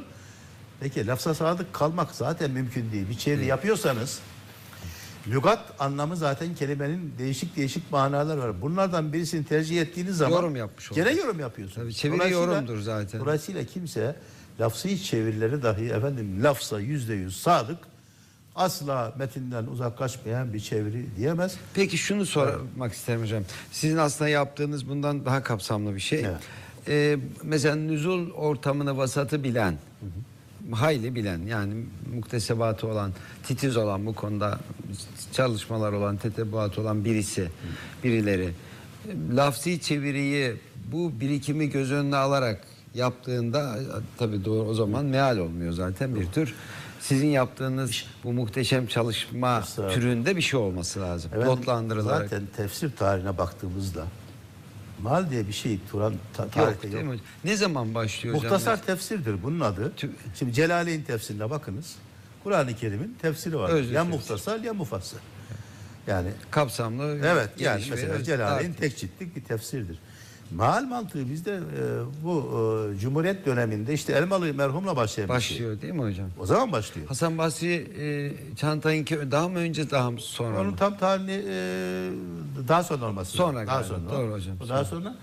Şimdi o dönemin özelliği. Bunun da şeyi yani biz artık şeyi anlarız. Biz kitabımızı doğrudan anlarız. Tefsire diye efendim. Bir ülkeki şey- camiinde Türkçe ezan okunur. biraz- köylü anlar manasını Tabii, namazdaki tabii, dönemin duanın şeyleri de var. yurda İşte bu- şiirindeki gibi. Tabii tabii e, böyle Öyle bir niyetle. Tabii tabii e, böyle şeyler de var. Dolayısıyla mesela şu vardır. Müfredatul Kur'an, kelimatul Kur'an gibi şeyler vardır. Yani Kur'an kelimelerinin manalarını, e, lugavi manalarını verirler. Bu da bu da halka yönelik bir şey değil, tullaba, talebeye yönelik. E, Ya, medreselerde şeye amaçlıdır. yönelik ona bir anahtar şeyidir. Ama asla böyle böyle bir yöntemle Kur'an mesajını aktarmak yoktur. Ee, bizim ulaşabildiğimiz kadarıyla. Bir iki Türk şeyi var efendime söyleyeyim Türkçe e, bir şey ama bunlar yaygın şey değil. Dediğim gibi medrese şeyle alakalı bir olaydır. Mesela bizde Mehmet e, Vehbi Efendi Mehmet Vehbi Efendi'nin. Hulasatul Beyan tefsiri var. O e, o o da böyle yapar. O da böyle yapar. Yani Mehmet Vehbi Efendi'nin e, der ki La tukaddimu beyne yedeyillahi ve rasuli ayetini e, işte Allah'ın ve peygamberin önüne geçmeyin diye lafzı çevirisi e, ne? Tefsiri şey yapar. Tefsiri izah yapar.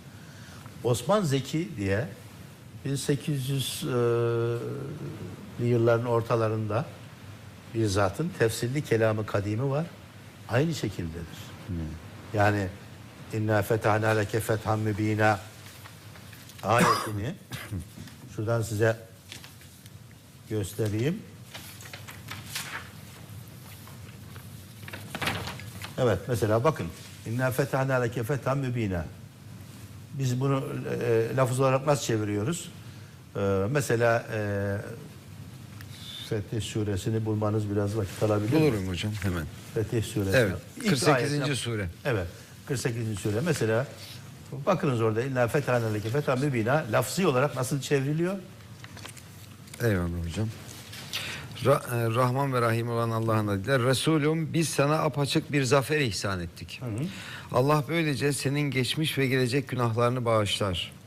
Üzerindeki nimetini tamamlar ve seni dosdoğru bir yola iletir. Ve sana şanlı bir zaferle yardım edecektir. Müminlerin Evet. Orası anlaşıldı. Şimdi burada tekrar o başından bir daha o biz sana bir zafer mi o şeyini hemen okuyayım hocam. daha- Resulüm biz sana apaçık bir zafer ihsan ettik. Yani mesela bakın apaçık bir zafer ihsan ettik. Ee, dediğim gibi bu oldukça başarılı bir e, çeviri. Üzerinde çalışmış. Herhalde en başarılarından birisi. Evet, evet. Mesela diyor ki e, Osman Zeki Bey, Ya Muhammed biz senin için tahkiki zahir ve aşikar Mekke fethine sebep ve mukaddime olan sulhu hükmettik. Hudeybiye anlatıyor. Yani kelime anlamıyla biz sana bir efendim zafer verdik, sana açtık, sana fethi nasip ettik falan gibi değil. Olayı anlatıyor. Arz edebiliyor muyum? Çok önemli hocam. Ya Muhammed biz senin için tahkiki zahir ve aşikar Mekke fethine sebep ve mukaddime olan sulhu hükmettik. Biliyor musun? Buradaki sulhun şeyini anlatıyor. Yani lafızdan lafzın şeyinde kaldığımız zaman e, hakikaten Kur'an mesajı kaybolur. Çok Şimdi o şeye bakalım. O, o Adiyat Adiyat'taki mesela hocam. Adiyat'taki mesaj şu. Yemin olsun nefes nefese koşan atlara, sonra çarparak tırnaklarıyla ateş çıkaranlara, Efendim? sonra karanlığında baskın yapanlara, Evet, sabah mesele, karanlığında. mesele şudur. Bakın buradan bir şey anlasın mı işte? Lafzı çeviri. Şimdi bunun tefsirini Böyle bir soyut, Evet. e, soyut alegorik bir şeyden Evet, bahsediliyor evet, evet. gibi. Gibi. Şiirsel bir Hayır, mesela imajlar, imajlar. Tabii. Yani e, bu çok önemli. Nedir mesele? E, Hazreti Ali'den gelen bir rivayet. Mekke müşrikleri Arafat'tan Müzdelife'ye geliyorlar develerle. Efendim işte o kırmızı deve diye e, bir cins vardır. Oralarda makbul olan göğseç deve. Ve Arap müşrikleri de Şeyin e, kasidesinde, Evet evet, evet. de anlattığı. Tabii anlattığı gibi çok önemlidir oranın en e, gösterişli şeyi o zaman için. Binmişler develere bu şekilde koşturarak e, Müzdelife'ye iniyorlar. Herkes devesiyle övünüyor. Efendim. Ayet ey müşrikler size bu bu güzelim develeri bu nimetleri size ihsan eden Allah olduğu halde bunu da bildiğiniz halde neden başkalarını bize şerik koşuyorsunuz? Bakın gene tevhide var ya. Tabii. Yani işin özü bu. Ha bunu daha şiirsel o deminki dediğiniz o ifadeyle verilebilir. Ama işin esası bu. Esası kaçıyor o zaman Esası da. verin sonra onu en güzel şekilde ifade edeceğiz. Ama bastıkça basan, koştukça koşan, ateş çıkaran filan yani bir şey mesaj yok orada. Anlaşılmıyor. Mesaj yok. Ama onu bu mesajı için alarak öyle bir edebi üslup verseniz Nurun muhteşem olur. Ama bu hakikaten anlaşılmıyor. anlaşılmıyor. Bu evet. çok tipik bir örnek Evet. oldu. Ya ben bunları söylerken e, şu endişeyi de taşımıyor değilim. Yani bir tek sizin anlıyorsunuz, sizin biliyorsunuz bu işi falan böyle gibi bir şey de e, çıkmasın. Yani biliyorsunuz biz buraya e, yani bu meseleleri yürekten konuşuyoruz ve bir Evet. artık e, şimdi Avrupa'da böyle yani E, Bazı yerlerden şeyler geliyor. Bunların çevirilerinin yenilenmesi lazım. Tabii. İngilizceye, efendim, Arapçaya dahi. Ya bugün Tabii. Arap dünyasında bize bir şey lazım diyor. Bir, ciddik elimizde okuyabileceğimiz bir şey lazım. Aynı şey Arap dünyası. Peki bu hocam sizin e, tevhid mesajı kitabınızın söz ettiniz biraz e, İngilizce ve Arapça. Evet. Başka dillerde de Almanca, evet, e, Fransızca çevirileri yapılacak Alman- mı? Yapılsa ne güzel. Almanya'dan öyle bir şey oldu.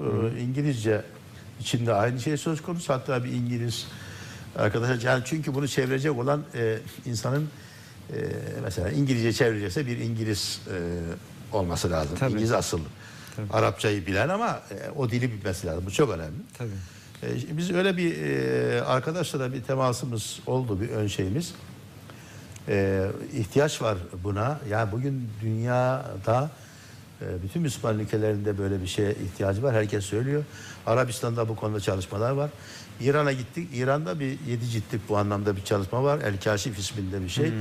O, işte onu Farisi ile yapıp sonra Arapçaya Lübnanlı bir heyetin çevirisi filan. Ya bütün dünya bu sıkıntıyla meşgul. Cilt cilt tefsirler var. Bu tefsirler herkes ulaşamıyor. Dolayısıyla bize kendi dilimizde sade bir şey. Hocam bunun mesela Makedonca'ya, işte Boşnakça'ya, Evet. Arnavutça'ya, Evet. e, efendim Kazakça'ya, Özbekçe'ye falan da çevrilmesi lazım. Evet, e, tabii Rusça ihtiyaç ya. ihtiyaç genişliyor. Vallahi biz elimizden yani bu e, himmet erbabı, ilgi duyanlar artık herkes e, nasıl e, katkıda bulunmak ister, ne yapmak ister o herkesin kendi anlayışı. Ama bizim İngilizce ve Arapça ve Almanca şeyimiz var. E, İnşallah projemiz hocam, var inşallah. inşallah. E, dediğimiz gibi Adiyet suresi öyle. Şimdi mesela o Fetih suresini bir daha rica edeyim. Orada bir Tabii önemli hocam. var. Bak Okuyayım hocam. Hazreti Peygamber e, meselesi var orada. Resulüm biz sana apaçık bir zafer ihsan ettik. Allah böylece senin geçmiş ve gelecek günahlarını bağışlar. Üzerindeki nimetini tamamlar ve seni dosdoğru bir yola iletir. Ve sana şanlı bir zaferle yardım edecektir. Müminlerin Evet. imanlarını kat kat artırmaları için kalplerine huzur ve güven indiren odur. Şimdi on, o kadar e, şey yoktu ama şu önemli. Bu 48. sureden bahsediyoruz değil mi? Bakınız orada bir çok önemli bir hata yapılıyor.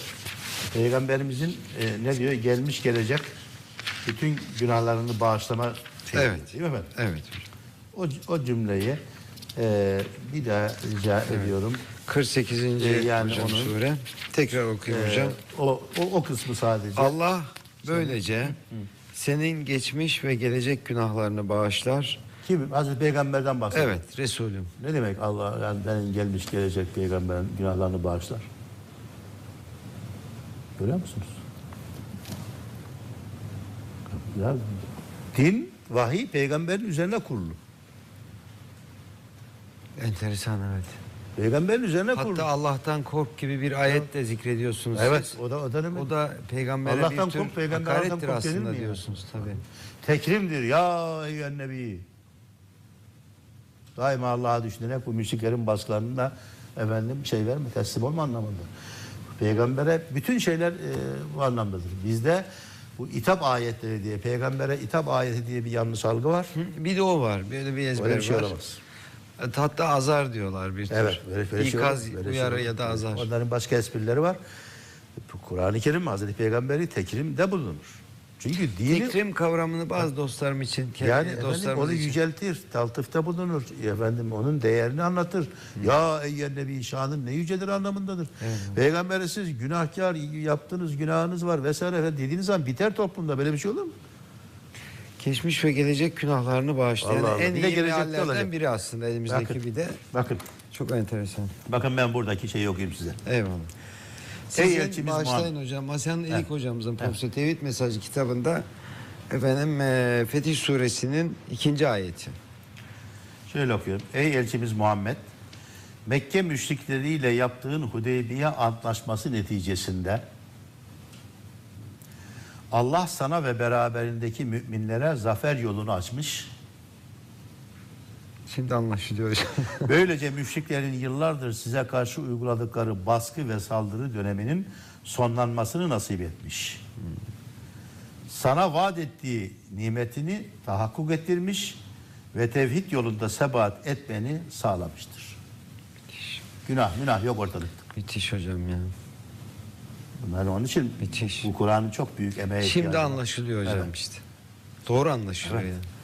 Dolayısıyla eee, evet yani dediğiniz gibi e, şimdi adiyata bakıyorsunuz öyle ya bakınız bu bizim e, şeyimizdir yani ben bunu En söylerken muteber, tekrar- e, en e, tabii. dediğin gibi çekinerek söylüyorum Tabii, yani tabii. bir saygısızlık olmasın kimseye diye. Her emek meşgurdur ama işte böyledir şimdi. Na- Nasıl çocuklara okutacağız bunu? Alın okuyun diyeceğiz. Alın okun Kur'an. Ne okuyacak? Biz elinizden öper beş çocuğumuz var. Allah bağışlasın. Ee, cümlesini inşallah. Sen şu geçmişin Sadık. Eyvallah. Hocam Kur'an meali okuyun, Kur'an Kur'an okuyun diye de hep şey yapıyorum. evet. İşte hadis okuyun vesaire. Hayli çok kaynak var bizde. Çok fazla böyle. Onlardan da işte seçin diye falan şey yapıyoruz. Seçmeye de çalışıyoruz. Şimdi vehameti biraz ben de burada burada fark etmiş bilmiyorum. Gerçi bu güzel çalışmanızı okumaya başlamıştım. Hayli de okumuştum ama Evet. şimdi daha spesifik bakınca daha böyle e, fokuslanınca hakikaten şey oldu. Bir şey söylememe izin verir misin? Estağfurullah.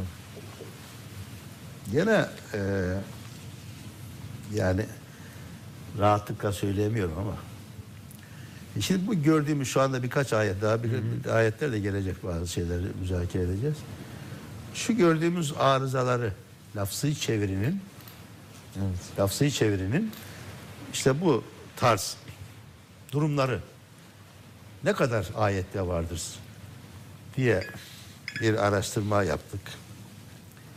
Ve ben fakültede e, bu tefsirle ilgili açılış dersini geçtiğimiz dönem verdiğim Marmara İlahiyat'ta Marmara İlahiyat Fakültesi'nde bütün e, oradaki hazırın hocalarımıza sordum. Sinevizyonda 20-30 tane ayetin örneğini gösterdim. Dedim ki e, ne kadar ayette böyle bu lafsız çeviride mesajın kaybolduğunu tahmin ediyorsunuz dedim. Yani pek tahminde bulunamadılar. Ben dedim ki üzülerek söylüyorum.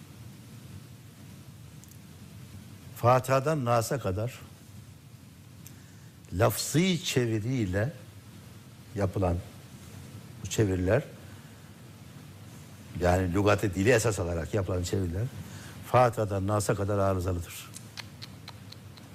müthiş. Ya eksiktir ya yanlıştır.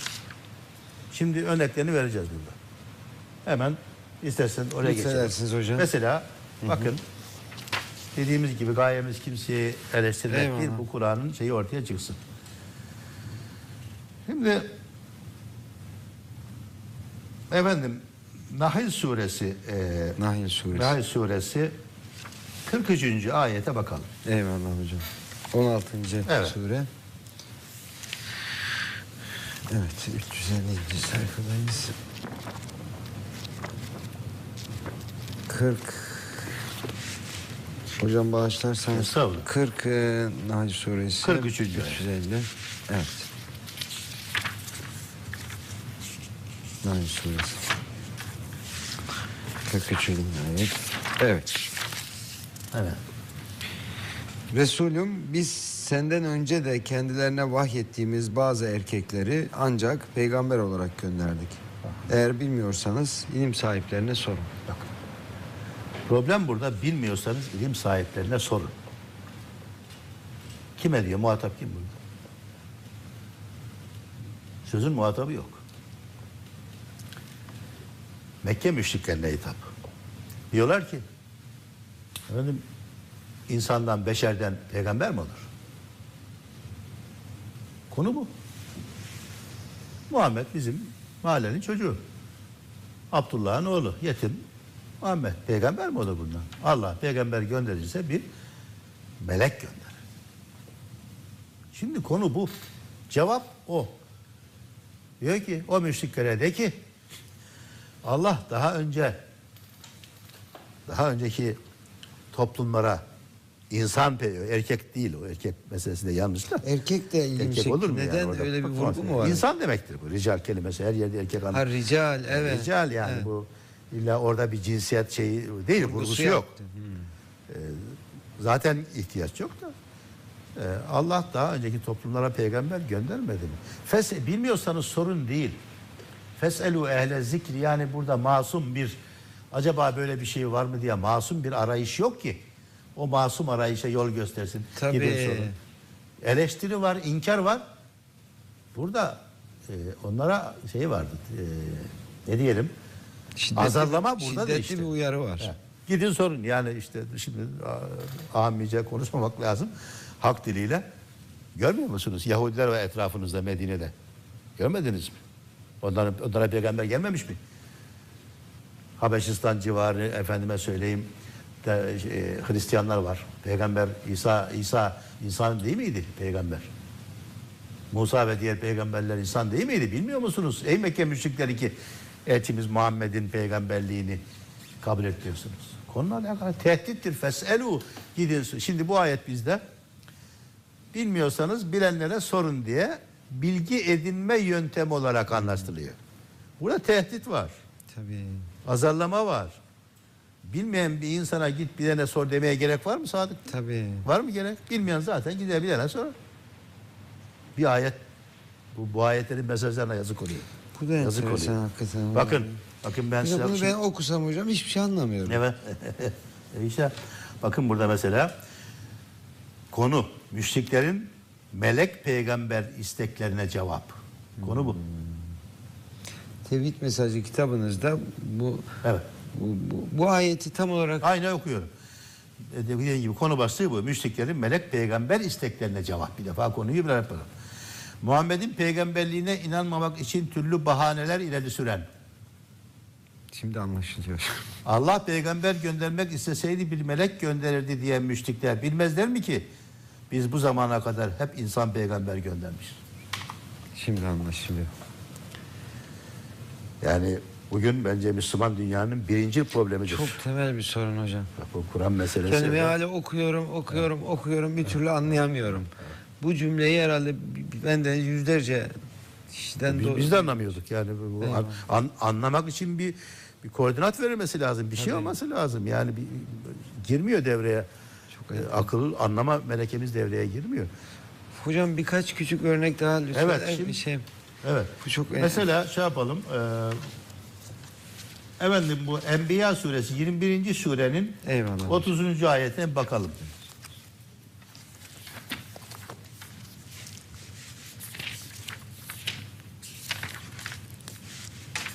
Hocam 31. su- ayeti değil mi? Evet bu 21. sure 30. ayet. 30. ayet. Kafirler göklerle yer bitişikken onları ayırdığımızı ve bütün canlıları da sudan yarattığımızı görmediler mi? Hala inanmıyorlar mı? Şimdi bağlantı ne orada? Bir, de, bir daha rica edeyim. Kafirler göklerle yer bitişikken onları ayırdığımızı Ayırdık evet. ve bütün canlıları da sudan yarattığımızı görmediler mi? Yani yerle gök ayrılmasıyla suyun ne alakası var? Buradan şimdi e, başka izahlara giriyoruz işte. Nedir nedir o? Big Bang teorisi midir? Eyvallah. Efendim e, filan ona gerekçe olarak Büyük göster. patlama işte başka şeyler, kainatın genişlemesi birçok spekülasyon. Efendim şimdi hadise bakın. Bu ayetin tevhidin kainattaki delilleri başlığı bu. Tevhidin kainattaki delilleri. Yani bu ayetteki mesaj yerle gök bitişik de ayırdık değil. Bir şey vardır. e, gök bakır, yer Yerdemir Gökbakır. ya, yer demir gök bakır. Yaşar Kemal de romanı hocam. Heh, biliyorsun. Heh. Ya susuzluğu anlatır. Susuzluk. Diyor Kuraklık. Cenab- evet kuraklık, susuzluk. Allah size ve ceanne minel ma'i külle şey hayır sudan bahsediyor. Allah size yağmur vermeseydi, su vermeseydi ne olurdu bu haliniz? Ey müşrikler, neden hala şirk koşuyorsunuz? Konu bu. Görüyor musunuz? Sade bir mana nerelere gidiyor? Lafız götürüyor. Bazı varlıklar efendim evet yani şey bu. Ee, özetini vermiş olduk. Yani konu bu. Burada anlattığımız bu. Enteresan hocam. Hatta bir daha madem siz herhalde merak ediyorsunuz tekrar edeyim. Bazı varlıkları şefaatçi kabul edip onları Allah'a ortak koşan müşrikler. Lat, Menat, Uzza biliyorsunuz. Bütün kainatı yaratan ve idare eden yegane kudretin Allah olduğunu bilmezler mi? Evelem yerellezine kebur. Gökyüzünden yağmurun yağmasını ve yeryüzünden bitkilerin yeşermesini takdir eden Yaşadığınız kuraklığa son verip yağdırdığı yağmur ile sizi ve bütün canlıları ihya eden kudretin o olduğunu düşünmezler mi? Konu bu. Ne alakası var bunun patlamayla, Big Bang'le? Yazık olmuyor mu bu ayetlere? Şimdi şu mesaj ne kadar canlı ve anlamlı görüyor Tabii musun? şimdi anlamlanıyor. Onun için- Demek ki bu hem nuzul ortamına gitmekle Evet, evet, orada. hem de sağlık e, sahih siyer ve hadis kaynaklarına da bakmak evet, suretiyle. evet, tabii tabii zaten onlar O zaman vasıtasıyla gidiyoruz. Efendim yani nüzul döneminde anlam orada yeşeriyor, orada oluşuyor. Ve Kur'an e, diye Kur'an dilini Arapçasına da Evet, e, evet. vakıf olmakla var, mümkün, Arapça. ancak mümkün. Evet böyle. Mesela konu buraya gelmişken Eyvallah. e, Zariyat suresi 51. 51. sure. surenin 47. ayetine bakalım.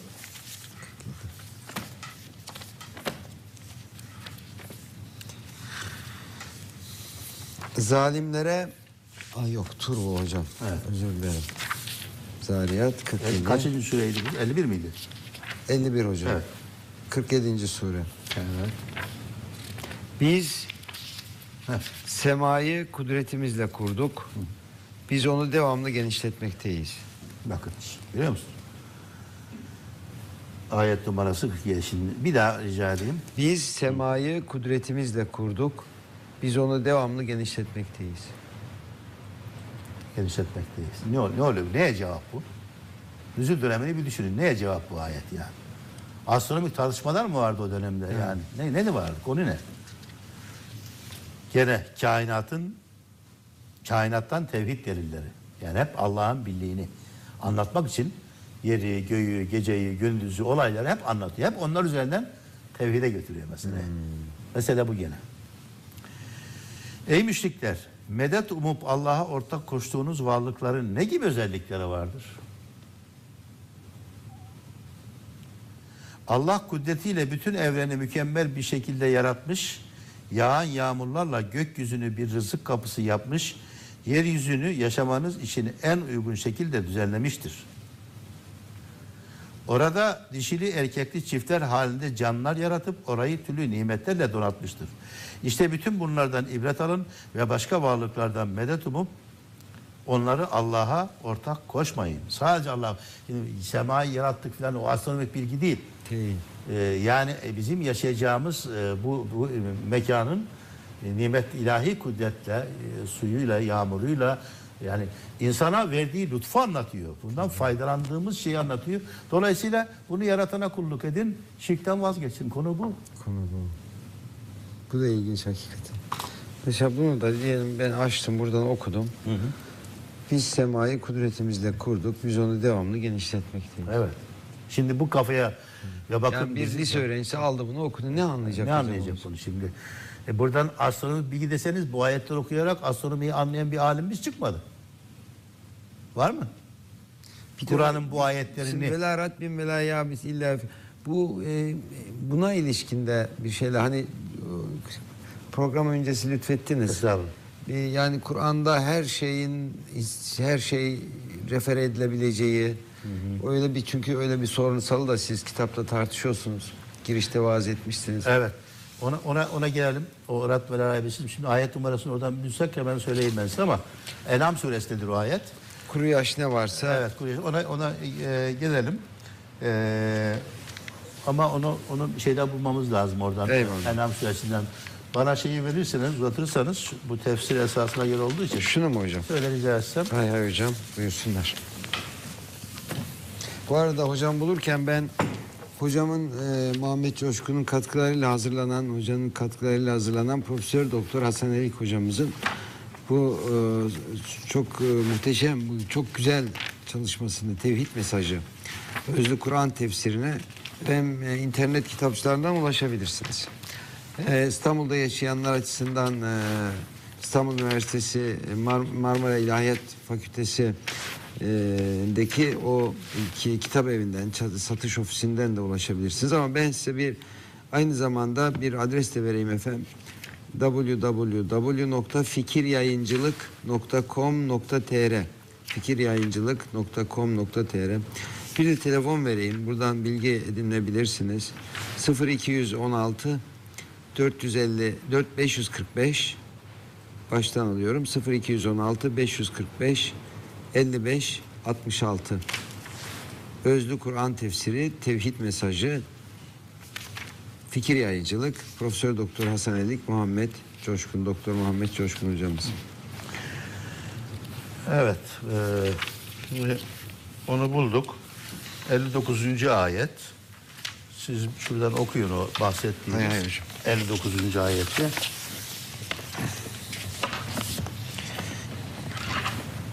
Gaybın anahtarları Allah'ın katındadır.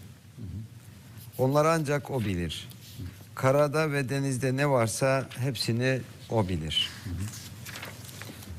Evet. Bir yaprak O bilir. Bir yaprak düşmez ve yerin karanlıkları içine bir tane girmez ki O bilmesin. Yaş ve kuru ne varsa hepsi apaçık bir kitaptadır. Evet şimdi bu 59. ayeti değil mi? Evet hocam. Şimdi bakın. Enam gene- suresi Evet. 59. ayet. Biz ok yaptığımız okuyorum. Müşriklere hesap günü uyarısı. Konu bu. Yani ayetlerin konusunu anlamadan asla bir mevzu bilmeden siz Tabii. ne hakkında konuşulduğunu Tabii. bilmeden ne- nasıl anlayacaksınız ki kelimeyle? Bu çok önemlidir. Yani mevzuyu bilmek, mevzu. Mevzu müşriklere hesap günü uyarısı. Benim peygam e, benim peygamber Kur'an'ın da ilahi kelam olduğuna dair istediğiniz mucizeleri ya da inanmadığınız takdirde sözlerimin doğruluğunun ispatı olarak istediğiniz azabı gerçekleştirme gücüm olsaydı diyorlar ki sen madem peygambersin hadi bakayım bize inanmıyoruz. Bize azap gel başımıza bir felaket getir. Gerçek böyle bir gücüm olsaydı bunu bir an önce yapardım. Çünkü peygamberliğin ispatı olarak ısrar ediyorlar ve sıkıştırıyorlar. Sizler her ne kadar benim yanlış yolda olduğumu iddia ediyor olsanız da karada ve denizde esas burası. Karada ve denizde görünen ve görünmeyen her şeyi bilen Allah biliyor musunuz? Görünen ve görünmeyen her şeyi bilen Allah kimin doğru yolda olduğunu ve kimin yanlış inançlara saptığını en iyi bilendir. Topraktan tutun da yerin derinliklerindeki küçücük bir tohum tanesine kadar her şey onun bilgisi dahilindedir. Allah'ın bilgisi. Bunu kalkıp da işte Kur'an'da o da var bu da var filan diyecek bir mecel yok. Tabii. Peygamberliği tartışıyor. Efendim o da diyor ki bu yaptıklarınızı istediklerini ben yapamam. Bu, bunu, bu kudret. Bilginin Ondan- kaynağını ima Evet, ediyor aslında Evet, değil evet, mi hocam? tabii, tabii. Cenab-ı Hak diyor. Çok enteresan. Şimdi Mesela yani, bunu bu bu bu da şöyle algılanıyor. İşte her türden veri ve bilgi Kur'an'da var. asla. Evet. Bu çok e, yani Müslümanlar kitaplarını yüceltmek istiyorlar ama Kur'an'ın yüceltilmesi e, tevhid onun esas ana mesajını tespit etmekle olur. Yoksa zayi ediyoruz bu şekilde ayetleri. Ne ilime ulaşabiliyoruz? Tabii. Çünkü ilmin mentudu şüphedir. Tabii. Araştırmadır, gözlemdir. Deneydir. Astronom olacaksın, astronot olacaksan çıkacaksan göreceksin. Tabii.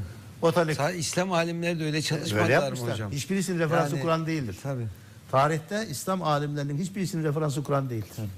Kur'an tevhid kitabıdır. Ona moral verir, maneviyat verir. Onu onu onun yani yolunun doğru olduğunu anlatır. Bir insan için bu çok önemli. Yürüdür ondan Yani sonra. İbn Sina, Biruni, E, Farabi bunlar gayet çalış. Ya o dönemde o dönemde Hristiyanların referansı İncil'di yalnız. Ha, o giderek skolastizme Evet gelmişti. tabii İncil'di. Onlar diyor gökyüzüne dürbünle bakanı şeyini Galle'ye ne yaptıkları malumdur. Tabii. Sen diyor Tanrı'nın e, şeyine mi itiraz ediyorsun? Dürbünle bakıyorsun diye dürbününü kırıyorlar. Yani halbuki bizde dönem- Rasathaneler Ha, kuruldu. Bizde rasathaneler kuruldu bu. Tabii. Onun için Müslüman dünya Merak edenler bağışlayın hocam. evet. Gülhane'de, Gülhane Parkı'nda hemen girince solda kıymetli Fuat Sezgin hocamızın Evet. Kotardığı o güzel bir çalış şey var orada, müze var. İslam Bilim Tarihi Müzesi, İlim Tarihi Müzesi. Orada üretilen şeyler bilimsel bir meraklı ve çalışmayla evet. şeyle yapılmış. Evet müthiş yani. Önceki birikimlerin de üzerinden giden Tabii tabii tabii. Yani bunu Allah sana akıl vermiş.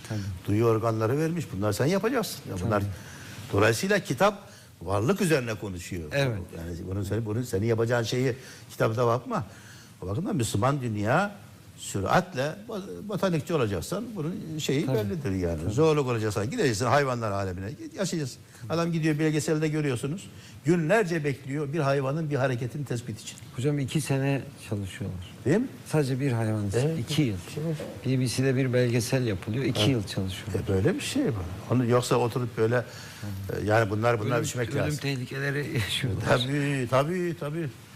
Hocam bu arada çok e, şey bir haber, kötü bir haber bize dostumuz verdi. Son 5 dakikaya giriyor. Öyle mi?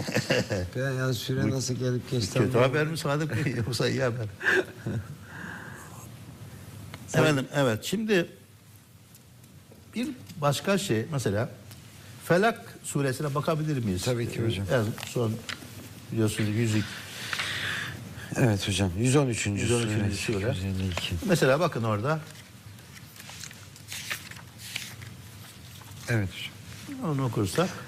Resulüm de ki ağaran sabahın Rabbine sığınırım. Evet. Yarattıklarının şerrinden. Karanlığı çöktüğü zaman gecenin şerrinden. Düğümlere üfleyen üfürükçülerin şerrinden. Kıskandığı zaman kıskanç kişinin şerrinden. Maalesef. Konu şir, yani nedir bu? Korkmak, korkuyor. İşte şerden, geceden, oradan, buradan, hasetçiden. Düğümlere üfleyen üfürükçülerin şerrinden. Efendim, e, olay şudur. Olay Hazreti Peygamber'e demin ifade ettik sanıyorum. Mekke müşrikler toplanıp psikolojik baskı yapıyorlar. Efendim, e, daha sonra biliyorsunuz bunlar e, netice vermeyince fiili savaşlar başladı. Bedir, Uhud, Hendek. Önce psikolojik savaşlar başladı.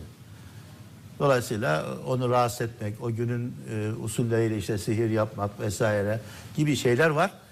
Hazreti Peygamber davasından vazgeçilmek için Cenab-ı Hak da ona moral için biraz önce ifade ettik. Kul e'uzu bi rabbil felak. Ben Rabbin himayesindeyim. Hiçbir şey bana zarar veremez.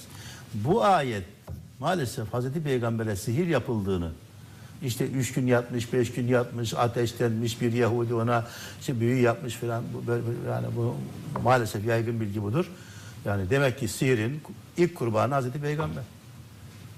Kur'an diyor ki la havle ve la kuvvete yani Kur'an'ın manası daha doğrusu la havle ve la kuvvete illa billah. Allah'tan başka güç yok. La yenfe'u ve la yedurru. Hiçbir şey onlar zarar ve- veremez, fayda, Fayda veremez. veremez. Siz peygamberi, dinin peygamberini e, sihire mağlup ettiriyorsunuz. Ee, nasıl bir Bu mantık hocam? meydan okuyor böyle bir şeye. Yani bana zarar veremezsiniz demektir. Burada yaptığımız çeviri de budur. Müthiş. Ee, bir e, madem sonuna doğru geldik. Bu şey de mesela insan meselesi çok e, e, önem arz ediyor.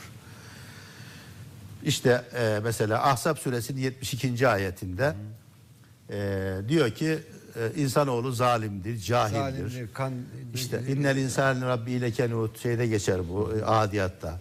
Vel asri innel insane bihuz. İnsanoğlu zarardadır, ziyandadır e, gibi bütün insan soyuyla alakalı zalumen cehula. zalumen cehula insan zalimdir, cahildir diye çeviri yapılıyor. Yani insan nesli, soyu, türü insanoğlu daha yaratılmamış insan. Yaratılmamış insanlar için siz nasıl işlemeden bir suçu, bir iş yapmadan tekrar diyorum Kur'an hep yapılmışlar üzerinden konuşur. Bir fiil yapılır onu değerlendirir. Orada da Mekke müşrikleri ne gene ve münafıklara şey vardır. Bunlar bu kadar nimete karşı nankörlük ediyorlar. Bunlar zalim, bunlar kendi nefsine zulmediyor. Bunlar cahil, hakikati bilmiyorlar. Müşrikler anlatıyor, insan soyunu değil. Çünkü insanların içerisinde peygamberler var, salihler var, şehitler var. Madem siz insanoğlunu daha baştan bu zalimdir, cahildir insanoğlu. Böyle bir adi varlıktır dedikten sonra ona mükellefiyetler vermenin, ondan iyilik beklemenin bir anlamı var mı? Bir yararı var mı? Dolayısıyla çok problem var. Çok. Çok ciddi. problem. Şeytanla ilgili son bir şey hocam. Efendim şeytan da e, gene benim e, bu çalışmada anladığım kadarıyla çok ayetlerin çok önemli bir kısmı kötü tabiatlı, şeytan tabiatlı insanlardan bahsediyor. Yani biz nerede bir şeytan kelimesi geçerse hemen ona o bildiğimiz e, anlamda şeytan anlamı veriyoruz. Halbuki Ebu Cehil'e şeytan diyor. Ebu Süfyan'a şeytan diyor. Mekke müşriklerinin elebaşlarına şeytan diyor. Yani bu şeytan kelimesi e, birçok yerde bu manaya geçiyor. Bunu da e, dikkate sunmak lazım. E, vaktimiz varsa şeyi söylemek isterim. Evet. E,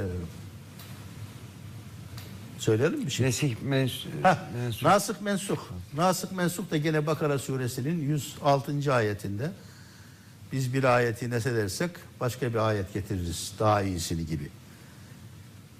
Yani burada konu gene e, şey tabi lafızdan giderseniz kelime manası öyle. Ama mevzuyu bilirseniz mevzu Medine Yahudileri diyorlar ki Bakara suresinde malum bu ayet e, peygamberlik bize mahsustur. Bütün peygamberler işte Yakup, İshak efendim e, soyundan geliyor. Sen kimsin? Araplardan peygamber olur mu? Ayet bu kendi itiraz- soyuna indirgeyen, Evet, peygamberliği evet. kendi Evet, soyuna kendi indirgeyen soyuna yaklaşıma karşı. görenlere cevap. Evet peygamberliği sizden aldık. Kulumuz Muhammed'e verdik. Ne kadar enteresan mesela. Bu, Evet. bu konuda da ciddi bir ezber var hakikaten. Evet, ciddi ezber. Kur'an'ın ayetleri mensuh diyoruz. Yok eski şeriatlar nesedilmişti diyenler vesaire. Konu sadece Yahudilerin peygamberlik bize mahsustur. Şeyine e, cevaptır. Biz peygamberliği evet sizden aldık çünkü siz hakkını ifa etmiyorsunuz. Kulumuz peygambere verdik tarzında. Hocam çok teşekkür Rica ederim. ederim. Rica yani iyi ki bu güzelim çalışmayı yapmışsınız. Allah eee ömrünüzü artırsın, bereketlendirsin. Bu çalışmalarınız Allah sayenizi meşgul eylesin inşallah. İnşallah hepimizinkini. Çok beraber. daha e, bu tabii bu değerli dostlar her herkese öneriyoruz efendim. Her evde de olması gerekiyor. Öğrenci dostlarımıza bilhassa lise ve üniversite öğrenci dostlarımıza, öğretmenlerimize, öğretim üyelerimize, herkese bilhassa meraklısına mutlaka hocamızın hazırladığı Muhammed Coşkun'un katkılarıyla tevhid mesajı Özlü Kur'an tefsirini yeni yayımlanmış olan bu güzelim kitabı öneriyoruz. Ee, bir dostlarımıza ben de bizim programımıza da gelenek hocam böyle bir tefeül yapıyoruz. Bismillah. Ahiret inancı ve insanın sorumluluğu. Ey elçimizi yalanlayan Mekkeli müşrikler. Allah'ın peygamber aracılığı ile sizlere bildirdiği kıyamet ve ahiret uyarıları hakikatin ta kendisidir. Eğer elçimizi yalanlamakta ve Allah'a şirk koşmakta ısrar ederseniz muhakkak ilahi cezaya maruz kalacaksınız. Dolayısıyla bu dünyada sahip olduğunuz nimetlere, refaha ve konuma aldanıp da elçimize karşı takındığınız tutumun cezasız kalacağını sanmayın. Şeytanın aldatmacasına kanmayın. Çünkü şeytan sizin açıkça düşmanınızdır. Kendine uyaranları kandırır ve onlara kendilerini cehenneme sürükleyecek şeyler yaptırır. Nitekim sizi de aldatmakta ve elçimizi yalanlamanıza sebep olmaktadır. Eğer aklınız varsa siz de onu düşman belleyin. Unutmayın ki Allah'a ortak koşan ve elçimizi yalanlayanlar yaptıklarının karşılığı olarak çok acı bir azap ile karşılaşacaklardır. Diğer taraftan Allah'a ortak koşmayan, elçimize iman eden ve Allah'ın emir ve yasaklarına uyanlar ise Allah tarafından büyük bir bağışlanma ve ödülü hak edeceklerdir. Bu kutlu günlerde efendim Ramazan-ı Şerif'te kan dökenlere bitaf olunur efendim. Hocam çok teşekkür ederiz. Ben teşekkür ederim. Haftaya bulunma, buluşmak üzere tekrar. Hocam bir şey belki lütfedecektiniz ama. Hayır teşekkür ediyorum. Efendim Yani sözlerimizin yanlış anlaşılmamasını, bu konuda çalışma yapanları eleştirmek olmadığını, Eyvallah. mesaja gitmek arzumuzun olduğunu, değerli izleyenlerimizin bizi bu e, efendim istikamette değerlendirmelerini rica ederim. eyvallah. Dostlarımız herhalde hocam öyle inşallah algılamışlar zaten diye düşünüyoruz. Değerli dostlar bu arada Koray Demir dostumuzun yaptığı o güzelim kliplerin e, klipleri yayınlamayı planlıyorduk. Sohbeti hocamdan daha çok istifade edelim diye. Onları yayınlamadık. İnşallah başka bir programda onları buluşturacağız sizlerle. Tekrar buluşmak üzere. Hoşçakalın.